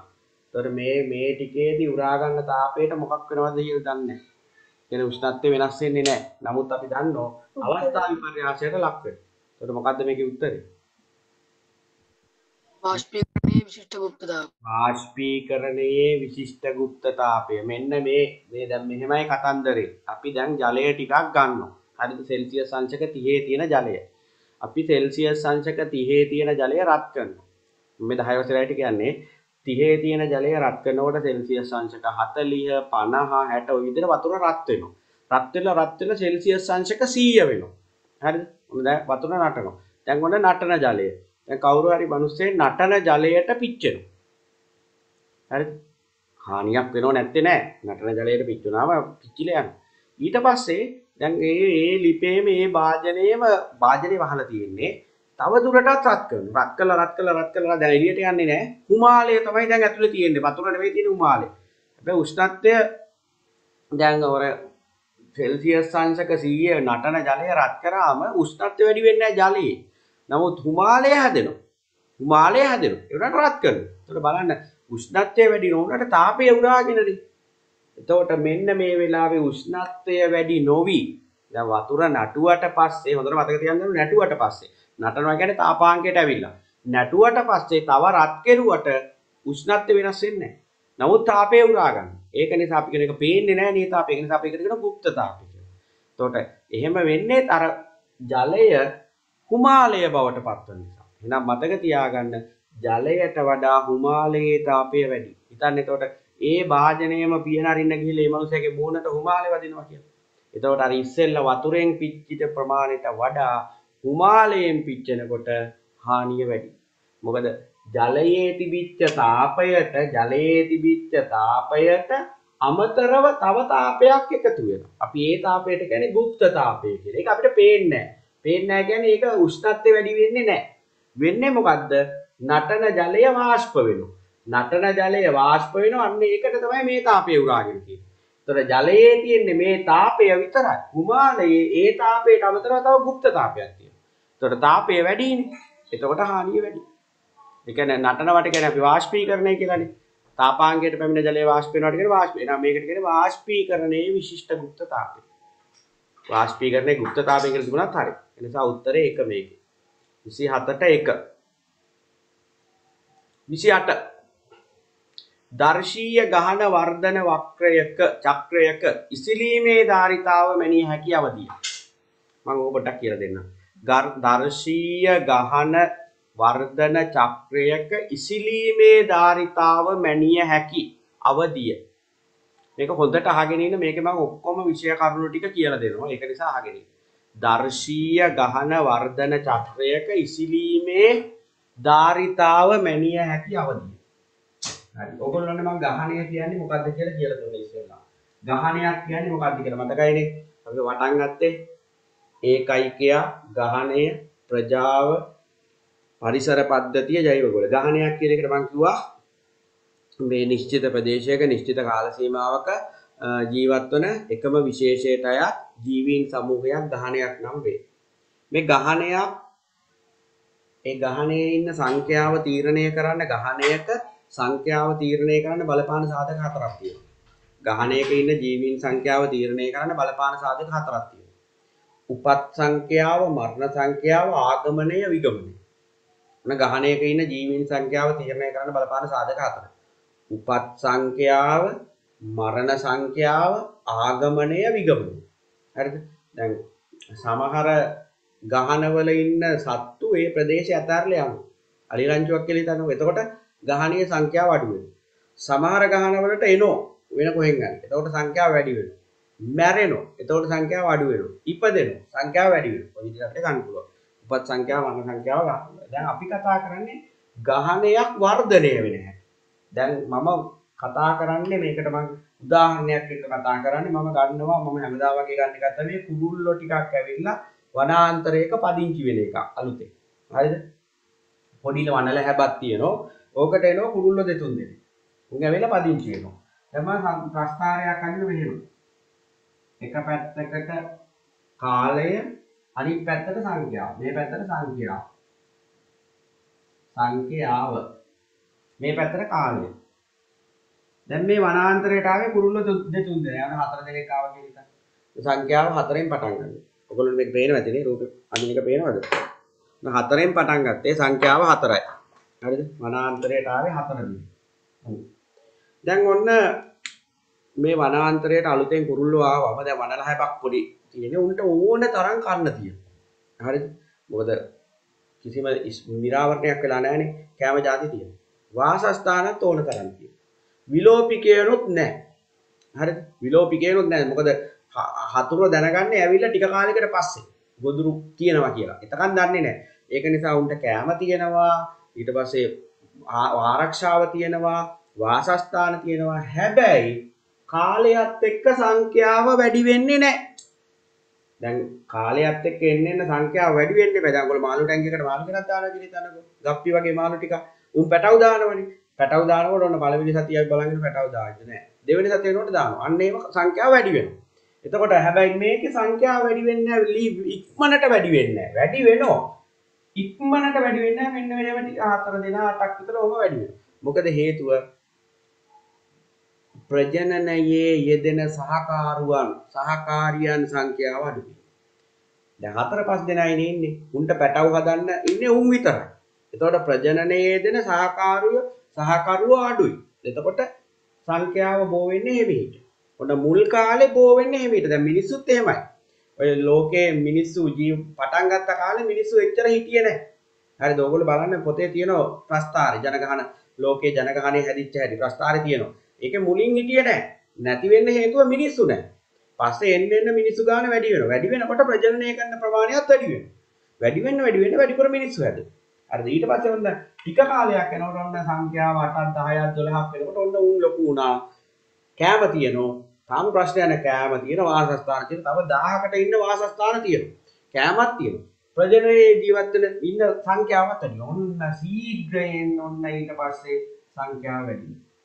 ආයි ටික කාලයක් යනකොට ඔන්න දැන් කෑම වලට තරංගයක් එනවා. හරිද? වැඩි වෙනකොට දැන් ඔන්න හිතන්නකෝ ඔයගොල්ලෝ මාළු ටැංකියක් හිතා ගන්නකෝ මාළු ටැංකිය වල මාළු දැන් පැටව දාලා පැටව දාලා ඔන්න වැඩිද? දැන් කන්න කෑම වලට තරංගයක් ඇති වෙනවා. ඔක්සිජන් වලට තරංගයක් ඇති වෙනවා. හරිද? ඉන්න වාසස්ථාන වලට තරංගයක් ඇති වෙනවා. පොඩි යවුන් ඇවිල්ලා ලොකු යවුන් ඇවිල්ලා පොඩි යවුන් ආහාරයට ගන්නවා. අන්න ඒ වගේ විලෝපිකයන් එනවා. කොහෙන් හරි ගෙම්බෙක් සෙට් වෙනවා ටැංකියට. හරිද? දියරයෙක් එනවා. මාළු ටික අල්ලගෙන කනවා. එතකොට ඔන්න එන්න එන්න සංඛ්‍යා ඒත් සංඛ්‍යාව වැඩි වෙනවා. වැඩි වෙලා වැඩි වෙලා ඒ හැබැයි වැඩි වෙන ප්‍රමාණය ටික ටික අඩු වෙනවා. අඩු වෙලා අඩු වෙලා එක්තරා කාලයකදී තව දුරටත් මේකේ දරා ගන්න බැරි උපරිම මට්ටමට එනවා. හරිද? උපරිම මට්ටම. මොකද ඒ අපිට ඒ වනාන්තරේ නා ඒ වනාන්තරේ උපරිම කුරුල්ලෝ ඉන්න පුළුවන් එච්චරයි. ඊට වඩා ඒ වනාන්තරයට ශක්- දෙන්න ආහාර නැහැ. මාළු ටැංකියට ඉන්න පුළුවන් උපරිම ගානට එනවා. අන්න එතකොට අපි මේකට කියනවා ඉසිලීමේ ධාරිතාව. මෙන්න මෙතෙන්ට තමයි කියන්නේ ඉසිලීමේ ධාරිතාව. මේ ගහනයේ ඉන්න පුළුවන් උපරිම ජීවී සංඛ්‍යාව. හරි. දැන් මම මේක බෙදනවා අවධි හතරකට. මෙන්න පළවෙනි අවධිය. මෙන්න දෙවෙනි අව- දෙවෙනි අවධිය. මෙන්න තුන්වෙනි අවධිය. මෙන්න හතර. බලාගන්න. පළවෙනි අවධිය, දෙවෙනි අවධිය, තුන්වෙනි අවධිය, හතරවෙනි අවධිය. ඔය ඔක හොද්දට කටපාඩම් කරලා තියාගන්න මේක හැමදාම වගේ විභාගෙට එන කරුණක්. පළවෙනි අවධියට කියන සෙමෙන් වර්ධනය වන අවධිය. පළවෙනි අවධියට කියන්නේ සෙමෙන් වර්ධනය වන අවධිය. දැන් ඔයගොල්ලන්ට පැහැදිලි වෙන්න ඕන සෙමෙන් වර්ධනය වෙන්න හේතුව. කියන්න බලන්න මොකද්ද සෙමෙන් වර්ධනය වෙන්න හේතුව? ජීවීන් සංඛ්‍යාව අඩුයි. මොකද්ද හේතුව? මේ පළවෙනි මුල් කාලේ ජීවීන් අඩු වෙන්න හේතුව. ඉක්මනට හැදෙන්නේ නැහැ, වර්ගයා බෝ වෙන්නේ නැහැ. හේතුව? පළවෙනි අවධියේ හරියට අහන් හිටියනම් උත්තරේ දෙන්න පුළුවන් ඈ දුවීම. මොකද ප්‍රජනනයේ දින සතුන් ප්‍රමාණය අඩු වීම. ආ, ප්‍රජනනයේ දෙන ජීවීන් සංඛ්‍යාව අඩු වීම පැටවුන් හදන්න කට්ටිය නැහැ ඒකයි පළවෙනි කෑම තියෙනවා වාසස්ථාන තියෙන ඔක්කොම තියෙනවා හැබැයි ප්‍රජනනයේ දෙන ජීවීන් සංඛ්‍යාව අඩු ඊට පස්සේ සීග්‍රේන් ඔන්න දෙවෙනි අවධිය දෙවෙනි අවධියට කියන්නේ අපි සීග්‍රේන් වර්ධනය වෙන අවධිය සීග්‍රයෙන් වර්ධනය වන අවධිය එහෙම වෙන්නේ මේ මතරත් මතක තියාගන්න සෙමෙන් වර්ධනය වන අවධිය සීග්‍රේ එහෙම වෙන්න හේතුව ප්‍රජනනයේ දෙන සහකාරුවොත් ඉන්නවා සහ ප්‍රජනනයේ දෙන ජීවීනුත් ඉන්නවා වාසස්ථානක් තියෙනවා තරංගයක් අඩුයි විලෝපිකෙනුත් අඩුයි. ඊට පස්සේ තුන්වෙනි අවධිය වර්ධනය අඩු වෙන අවධිය. වර්ධන වේගය අඩු වෙන අවධිය. ඒකට හේතුව තරංගය විලෝපිකය රෝග මේ වගේ දේවල් නිසා වර්ධන වේගය අඩු වෙනවා. නමුත් වර්ධනය වෙනවා. වර්ධනය වෙනවා වේගය අඩු වෙනවා මෙහෙම වෙනවා කියන්නේ වේගය හරිද? මේ ප්‍රස්ථාරයක මෙහෙම වෙනවා කියන්නේ ඉක්මනින් සිද්ධ වෙනවා. මෙහෙම වෙනවා කියන්නේ එන්න එන්න අඩු වෙනවා කියන්නේ. හරිද? ඒකට මතක තියාගන්න. ඊළඟට මේ අන්තිම අවධියට කියන ස්ථාය අවධිය ස්ථාය ඒ කියන්නේ උපරිම ප්‍රමාණයක් හැදිලා ඉවරයි තව දුරටත් හැදෙනවා. හැබැයි හැදෙන ගානට මැරෙනවා. ඉපදෙන ගානට මැරෙනවා. ඒතර අපි කියන ස්ථාය අවධිය කියලා. ඔන්න ඔක තමයි අවධිය හතර. දැන් ඕගොල්ලෝගෙන් අහන ප්‍රශ්නේ මොකද්ද? දැන් ඕගොල්ලන්ට ප්‍රශ්නෙට උත්තරේ ලියන්න පුළුවන් දර්ශීය ගහන වර්ධන චක්‍රයක ඉසිලීමේ ධාරිතාව මැනිය හැකි අවධිය. මොකක්ද උත්තරේ? ඉසිලීමේ ධාරිතාව කියන්නේ උපරිම ඒ ප්‍රදේශයේ ගහණය ජීවත් වෙන ප්‍රදේශයේ කාර්යාවදී. ඔව් ස්ථායි අවධිය. උත්තරේට එන්නේ ස්ථායි අවධිය. ස්ථායි අවධියේදී තමයි උපරිම ප්‍රමාණය මනින්න පුළුවන්. හරිද? එහෙනම් පොඩි සටහනක් මේකේ දාගන්න මේක ගොඩක් වැදගත් කොටසක්. හරිද? මේක හැමදාම වගේ දැනගත යුතුම විභාගයට එනම කොටසක්. අපිට මේ වගේ ආයි හම්බ වේවි. හරිද? ප්‍රශ්නවලදී හම්බ වේවි. එතකොට ඒක පිළිබඳව සැලකිලිමත් වේ. හරි. අපි එහෙමනම් ඊළඟ ප්‍රශ්න දෙකක් බලමු ඉක්මනට. අ, ඊළඟ ප්‍රශ්නෙන් තියෙන්නේ පහත දක්වා ඇති ප්‍රකාශ අතරින් නොගැලපෙන ප්‍රකාශය තෝරන්න. නොගැලපෙන ප්‍රකාශය වා- වාක්‍ය කියන්නේ එහෙමයි. යකඩ තහඩුවක් මත සිංක් ආලේප කිරීම ගැල්වනයිස් කිරීම ලෙස හැඳින්වෙන්නේ ඒක හරි. යකඩ තහඩුවක් මත සිංක් ආලේප කරනවා කියන්නේ අපි ගැල්වනයිස් කිරීම එක හරි. භස්ම යකඩ මල බැඳීමේ වේගය අඩු කරයි එකත් හරි. භස්ම වලින් කරන්නේ මල බැඳීමේ ශීඝ්‍රතාව අඩු කරනවා. මල බැඳීමේ ශීඝ්‍රතාව වැඩි කරන්නේ අම්ල හා ලවණ. යකඩ ඇණයක් මත ටින් ආලේප කළ විට යකඩවලට කැතෝඩිය ආරක්ෂාව ලැබේ. අපි ඊළඟ එක බලමු. කාර්මිකව සෝඩියම් ලෝහය නිපදවා ගන්නේ විලීන සෝඩියම් ක්ලෝරයිඩ් විද්‍යුත් විච්ඡේදයෙන්දී ඒක හරි. උත්තරේ 3 යකඩ ඇණයක් මත ටින් ආලේප කළ විට කැතෝඩීය ආරක්ෂණය ලැබේ. වැරදි. කැතෝඩීය ආරක්ෂණය කියලා කියන්නේ හොඳට අහගෙන ඉන්න.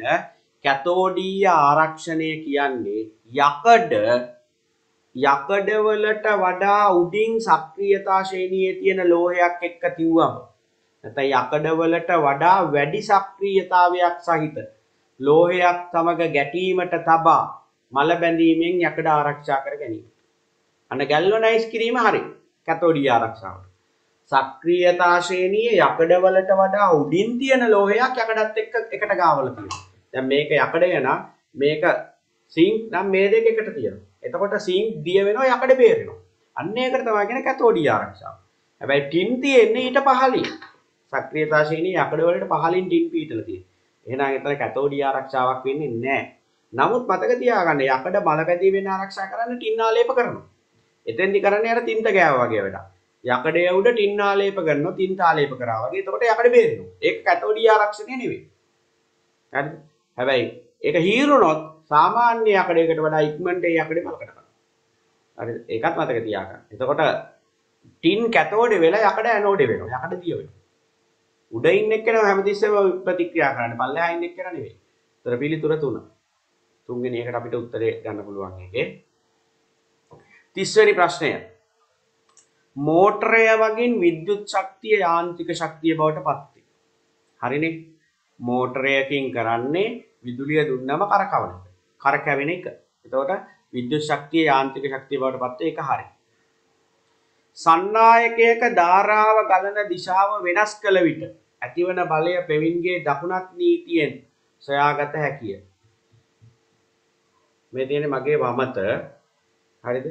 වම් වමතේ දබරැඟිල්ල හා මැදගිල්ල එකිනෙකට ලම්බක තල දෙකක තබා දබරැඟිල්ල මාපට ඇඟිල්ල මැදගිල්ල එකිනෙකට ලම්බක තල තුනක තබා හරිද? දබරැඟිල්ලෙන් චුම්බක ශේෂ්ත්‍රයේ දිශාවත් මැදගිල්ලෙන් ධාරාවේ දිශාවත් යොමු කළ විට මාපට ඇඟිල්ල සන්නායකය මත බලය ක්‍රියා කරන දිශාවට යොමු වේ. බලය හොයාගන්න නම් අපි ගන්නේ දකුණු අත නෙවෙයි වම් අත.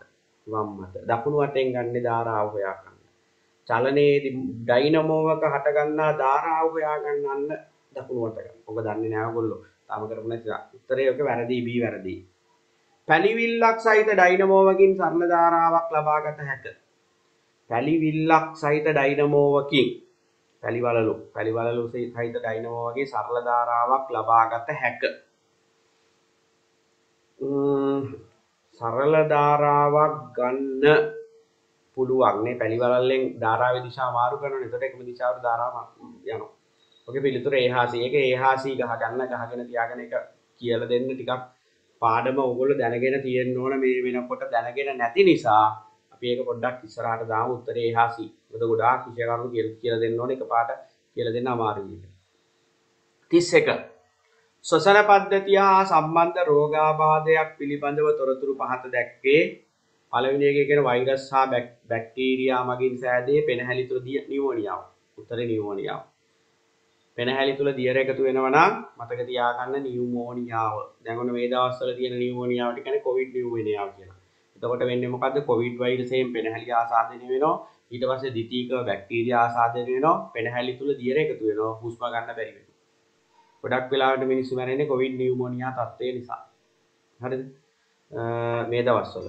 අයිසෝප්‍රීන් අණුවක ඇති කාබන් පරමාණු ගණන අයිසෝප්‍රීන් අයිසෝප්‍රීන් කියන්නේ රබර් වල රබර් වල තැනුම් මේකකය. රබර් කියන්නේ පොලි අයිසෝප්‍රීන් වලට. රබර් වල තැනුම් මේකකයට තමයි කියන්නේ අයිසෝප්‍රීන් කියලා. අයිසෝප්‍රීන් අණුවක තියෙන අහන්නේ මොකද්ද? කාබන් පරමාණු ගණන. එතකොට අයිසොප්‍රීන් අණුව මම ඇඳලා පෙන්නන්නම් මේක හයිඩ්‍රෝකාබන පාඩමේ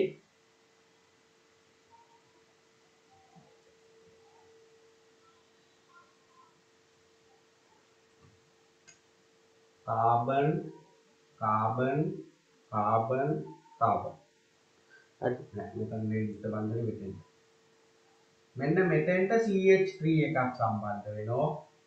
එක දිත්ත එක දිත්ත බන්ධනයක් තියෙනවා. මෙතෙන්ට හයිඩ්‍රජන් ලා දෙන්නයි මෙතෙන්ට හයිඩ්‍රජන් ලා දෙන්නයි මෙතෙන්ට හයිඩ්‍රජන් ලා දෙන්නයි. නෑ මේ- මේක මෙතෙන්ට දිත්ත බන්ධනය ඔන්න අයිසොපීන් නම් එකයි දෙකයි තුනයි හතරයි පහයි. හයිඩ්‍රෝකාබන් පාඩම පොඩ්ඩක් බලන්න. ඔක අයිසොප්‍රීන් කියන්නේ රබර් වල තැනුම් මේකකේ. හරිද? රබර් කියන්නේ මෙහෙම දිග අණුවක්. ඒක හැදෙන්නේ මෙහෙම නිකන් ඇදලා පෙන්නන්න අයිසොප්‍රීන් අණු. මේ තියෙන එක අයිසොප්‍රීන් අණුවක් කියලා හිතන්න. මේ තියෙන තව අයිසොප්‍රීන් අණුවක් කියලා හිතන්න.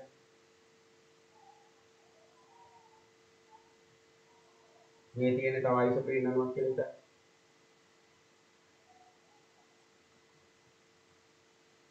මෙතන තියෙන CH3 CH3 මෙතන CH3 හරි. අනිත් ඒවා හයිඩ්‍රජන් තියෙන්නේ.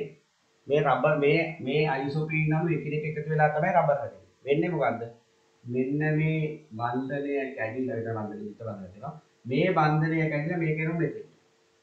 මේ දිත්ත බන්ධනය මෙතෙන් තමයි. මේ දිත්ත බන්ධනය මෙතෙන්ට පයින්න මේ දිත්ත බන්ධනය මෙතෙන්ට පයින්න ආයි මේ දිත්ත බන්ධනය මෙතෙන්ට එනවා මේක මෙතෙන්ට මේ ටික හයිඩ්‍රජන් දාගන්න. මේ තියෙන අයිසෝප්‍රීන් මේ තියෙන රබර් පොලි අයිසෝප්‍රීන් රබර් හැදෙන්නේ ඒ විදියට. හරිද? අයිසෝප්‍රීන් ඔක බහු අවයව බහු අවයව කිය පාඩමේදී අපි මේක කතා කරනවා බහු අවයවක කියන්නේ කුඩා අණු රාශියක් එකතු වෙලා හැදෙන යෝධ අණුවක්. ඒතර අයිසෝප්‍රීන් කියන අණුව අණු ගොඩාක් එකට එක්කව වෙලා තමයි රබර් හැදෙන්නේ. අපි රබර් වලට කියන්නේ පොලි අයිසෝප්‍රීන් කියලා. ඒතර මේ විදිහට තමයි හැදෙන්නේ. එද මේක මම හයිඩ්‍රජන් ඇඳින ඇඳනම් ඔකුණට ටිකක් අමාරුයි මේකේ. මෙහෙම මෙහෙම හයිඩ්‍රජන්. හයිඩ්‍රජන් අඳින්නේ මෙහෙමයි. හැම කාබන් පරමාණුවක් වටේම බන්ධන හතරක් තියෙන විදිහට. දැන් බලන්න උඩ හැම කාබන් පරමාණුවක් වටේටම බන්ධන හතරක් තියෙනවා.